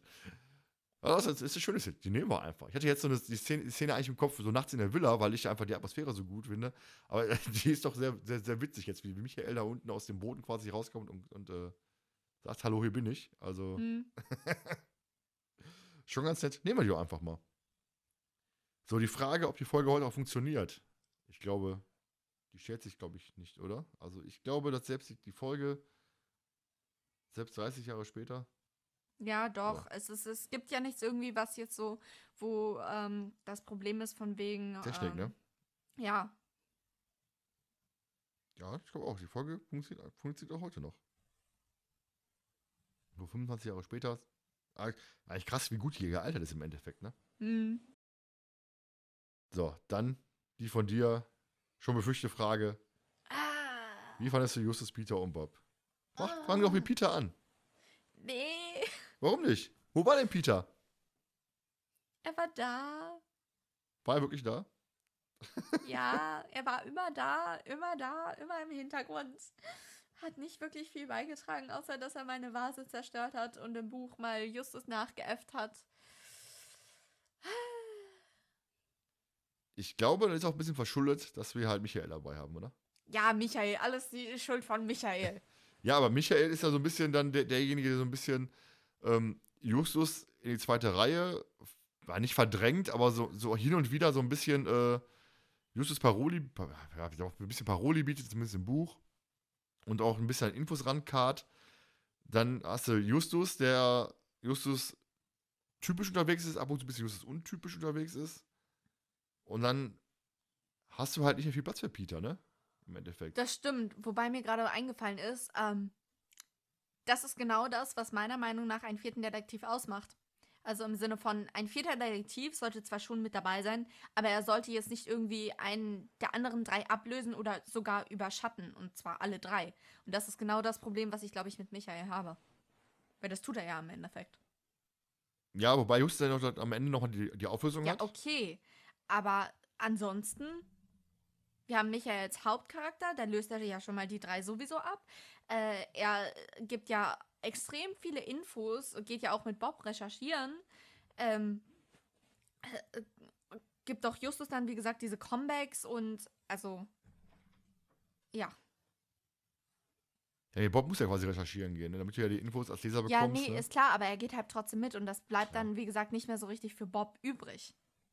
ja, wobei Bob halt noch ein bisschen aktiver ist, aber auch jetzt nicht so, wie er, wie er sein könnte. Er hat durch die, durch die Recherche halt so ein Alleinstellungsmerkmal, wo er halt begleitet wird und eben halt auch diese, diese ähm, eigentlich im Buch ja auch diese Rotbart-Szene, wo er Ja. Michael die auch im Hörspiel kriegt. Renn mal hinterher, Michael, schreib mal die Autonummer auf, ne? Ja, siehst Also, du?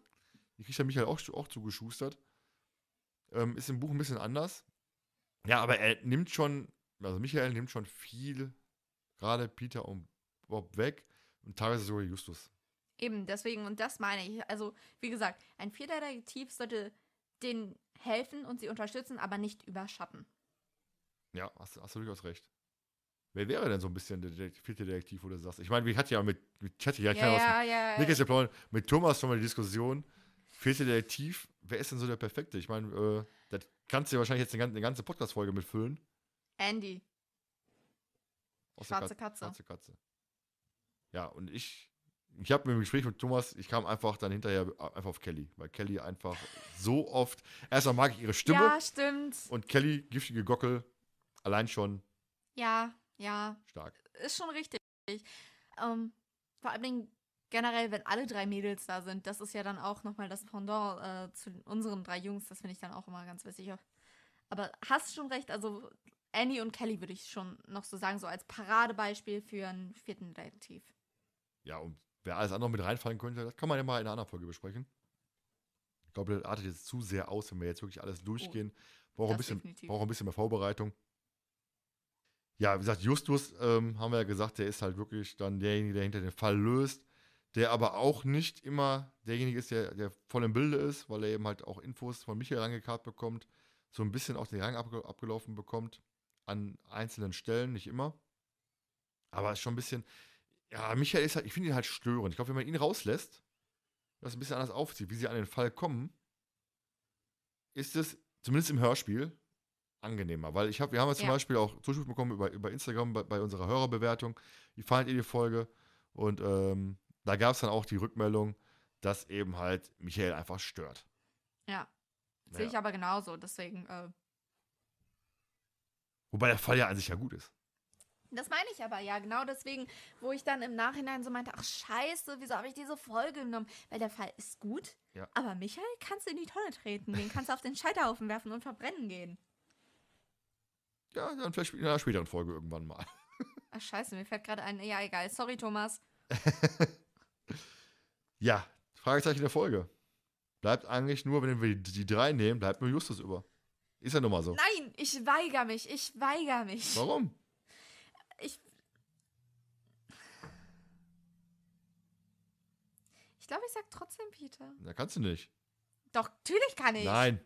Doch. Der, der ist ja eigentlich, ist er ja gar nicht so blöd. Also ja, klar.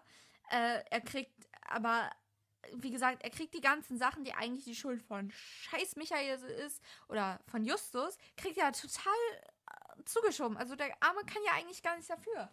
Ja, Und selbst wenn, und selbst wenn diese Sache äh, mit Justus, wo er ja gegen den Sarg tritt und dann von wegen äh, Lösung des Falls, das macht ja dann trotzdem Peter. Gegen die Leiste, nicht gegen die, gegen die Ja, Fußleiste, nicht gegen genau. den Sarg. Genau. Er tritt gegen den Sarg. Okay. Durch Vandalismus wird der Ja. Fall gelöst. Ja, ist richtig. Er tritt gegen den Sarg, wo Jonas drin liegt. Deswegen. Und wer hat das gemacht? Peter hat das gemacht. Ja. Ich werde immer einen Weg finden, Peter als meinen Lieblingsdetektiv anzugeben. Verlass dich drauf. Kannst du ja angehen, aber der ist ja in der Folge jetzt nicht wirklich aktiv. Er ist aber trotzdem immer präsent. Im Gegensatz zu anderen Folgen, wo Bob mal kurz äh, abtauchen geht. Ja, präsent sein ist ja nicht. Ist so, Anwesenheit ist gleich vier. Nicht, nicht, Drei. Ach so, nein, also. Nee, Doch. Nein, nein, nein. Also, Doch. Aber okay, du nimmst wahrscheinlich Justus. Ja, gibt Genau. ja nichts anderes. Und, und ich nehme Peter. Ich bleib dabei. Ich bin da eisern. Nee, nee, nee. ich habe ich hab hier noch keinen Button auf meinem Touch-Display, um dich hier irgendwie jetzt so äh, zu foppen. Das ist der ultimative Beweis, dass ich ein komplett hoffnungsloser Fall als Peter-Fangirl bin. Es gab aber auch Szenen, hast du, gesagt- äh, Folgen, hast du dann nicht Peter gesagt. Ich glaube, es gab bisher nur eine einzige. Du dich noch erinnern, welche? Nein. Ja, daher Nebenfigur der Folge. Äh, hier, Grady. Grady Markles. Ja. Weil er so sympathisch ist.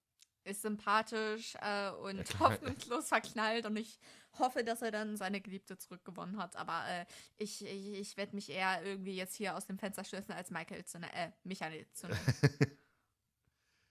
Ja, ich muss auch sagen, also, boah, schwer. Ich, Michael will ich nicht nennen, weil ich ihn nicht mag. hm? Brackmann will ich nicht nennen, weil er halt der Bösewicht ist. Ich finde, der Bösewicht als dem Charakter ist immer so ein bisschen, nein, das passt nicht, weil der Bösewicht ist halt ein Hauptcharakter im Endeffekt. Dann nehme ich doch einfach mal Eiskalt den Gärtner. Stimmt. Weil der ist ja im Endeffekt auch der, der Retter in der Not. Und er Das ist Ding- halt, er ist halt beides. Er ist am Anfang immer wieder der Bösewicht, der draufgeschoben wird. Sagt, der Gärtner. Ja, ja. Nee, aber das Ding ist, ich weiß nicht wieso, aber vor allen Dingen zum Schluss hat er mir extreme James Bond-Vibes gegeben. Okay. Liegt vielleicht an seiner Stimme, aber das war voll komisch. Ja, weil durch die Scheibe gekommen ist. vielleicht auch deswegen. Ja, dann die Frage, wurden deine Erwartungen durch der Folge erfüllt? Nach dem Klappentext. Ah, das ist schwierig. Weil erstens, du erwartest jetzt nicht wirklich, dass scheiß Michael der Hauptcharakter der Folge ist und alles aus seiner Sicht geschildert wird. Aber der Fall an sich ist ja trotzdem gut. Deswegen, ich würde sagen, Erwartungen nicht erfüllt. Ähm, aber es ist jetzt auch nicht so scheiße geworden wie jetzt bei anderen Folgen, würde ich sagen. Und ich die Note raushauen, die Bewertung? Äh, sechs Punkte. Sechs Punkte. Ja, ich muss auch sagen, meine Erwartungen ähm, durch den Michael wurden halt auch nicht so wirklich erfüllt. Wobei ich den Übergang eigentlich ganz geil fand, wie denn eben halt ähm, vorhin der Fragezeichen übergegangen worden ist zu Michael, sprich in der, im, im Supermarkt da an der, an der, an der ähm, Eisdicke da.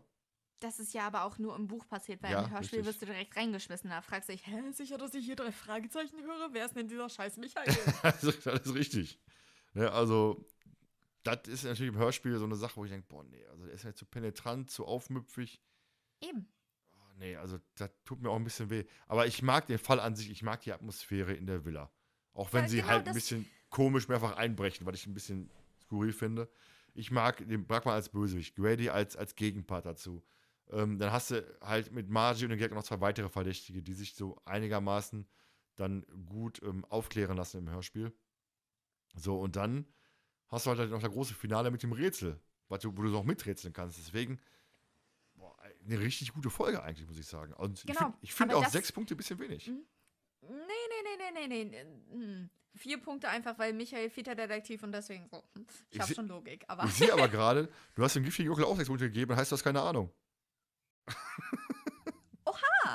Dabei wollte ich dir gerade zustimmen. Se sechs Punkte zu wenig sind? Nee, Ach so. dass du ja genau recht hast, dass der Fall an sich eigentlich voll geil ist, aber wenn Michael eben nicht da gewesen wäre, er perfekt gewesen wäre. So, wenn ich jetzt gucke, ich habe dem giftigen Juckel acht Punkte gegeben, da komme ich bei dem weinenden Sarg auf 7,5 Punkte. So, jetzt kann ich dir sagen, was die Hörer gewotet haben. Und zwar geben die Hörer. Wolltest du raten? Wolltest du, hast du eine Vermutung? Äh, also, ich habe eine Vermutung. Ich ahne es, weil ich äh, ja jetzt mitbekommen habe, dass die Hörer den Michael auch so scheiße finden wie ich. ähm, ah, nee, hau raus. Und zwar geben die Hörer ähm, 6,75 Punkte. Schon wieder bin ich mit den Hörern fast einer Meinung. Ach, das ist ja wirklich ein Zeichen. So, das heißt, der weinende Sarg landet in unserer in unserem Ranking am Ende auf Platz 14 mit 6,69 Punkten. Knapp davor ist Spuk im Hotel, knapp dahinter ist der Jaderkönig. No way. Ja. Scheiße. Ja, aber Platz 14 ist ja genau, genau im Mittelfeld. Und wenn du überlegst, wir haben jetzt 26 Folgen besprochen. Der soll sich gefälligst ganz hinten anstellen. Es gab viel bessere Folgen. Als der weinende Sarg? Ja, Nein. doch. Vor allem wegen Jadekönig feiere ich total. Jetzt hätte ich. so, Nein, doch. Oh, komm, müssen normalerweise. Jaderkönig feierst du so ab? Jetzt nicht so krass extrem wie andere Folgen, aber trotzdem finde ich Jadekönig besser als den weinenden Sarg. Echt? Ja, mal das Einzige, was diese Folge wirklich gut macht, ist der Fall, weil. Ja, worum geht's denn bei der Fragezeichen? Um den Fall. Ja, aber die haben den scheiß Michael! so, Der hätte in Detroit bleiben sollen. soll ich mal kurz sagen, was du im Jaderkönig gegeben hast? Für wie viele Punkte? Oh Gott, ich ahne Schlimmes. Sechs. so, da bin ich schon mal. Ist trotzdem auf der gleichen Stufe wie jetzt hier da, aber Sarg. ja, ich finde ihn besser und ich kann ja nicht 6,1 oder so angeben. doch, doch klar. Ah! Habe ich auch schon gemacht. 6,4 oder so, glaube ich. Ich hasse das, wenn man nicht sieht, wie man die anderen Folgen bewertet hat und an der Hand deswegen das festmachen kann, dann mache ich es eigentlich ja immer nur nach Bauchgefühl. Ja, Deswegen, ich habe den Kackvergleich nicht, den du immer Dann- hast. dann du den demnächst. Kannst du daran dir deine Ich nehme dich beim. Wort. Du auf jeden Fall. Habe ich auch hier als, als automatische Excel-Liste, die alles auto- automatisch hier aktualisiert mit Ranking, allem drum und dran. Kannst du alles eintragen. Okay. Ja. Dann sind wir durch. Ja. Ne? Das waren die, das waren die zwei ohne Jonas. Also wirklich dann die zwei. Mhm. Ähm, ja, die drei Fragezeichen und der leere Sarg. In der nächsten Folge klären wir dann, wie ein Mann, ein kleiner Mann, einen Zauberspiegel wegtragen kann. Ich bin lieber Jonas Part. Also, Freunde, bis dann. Tschüss, Kowska.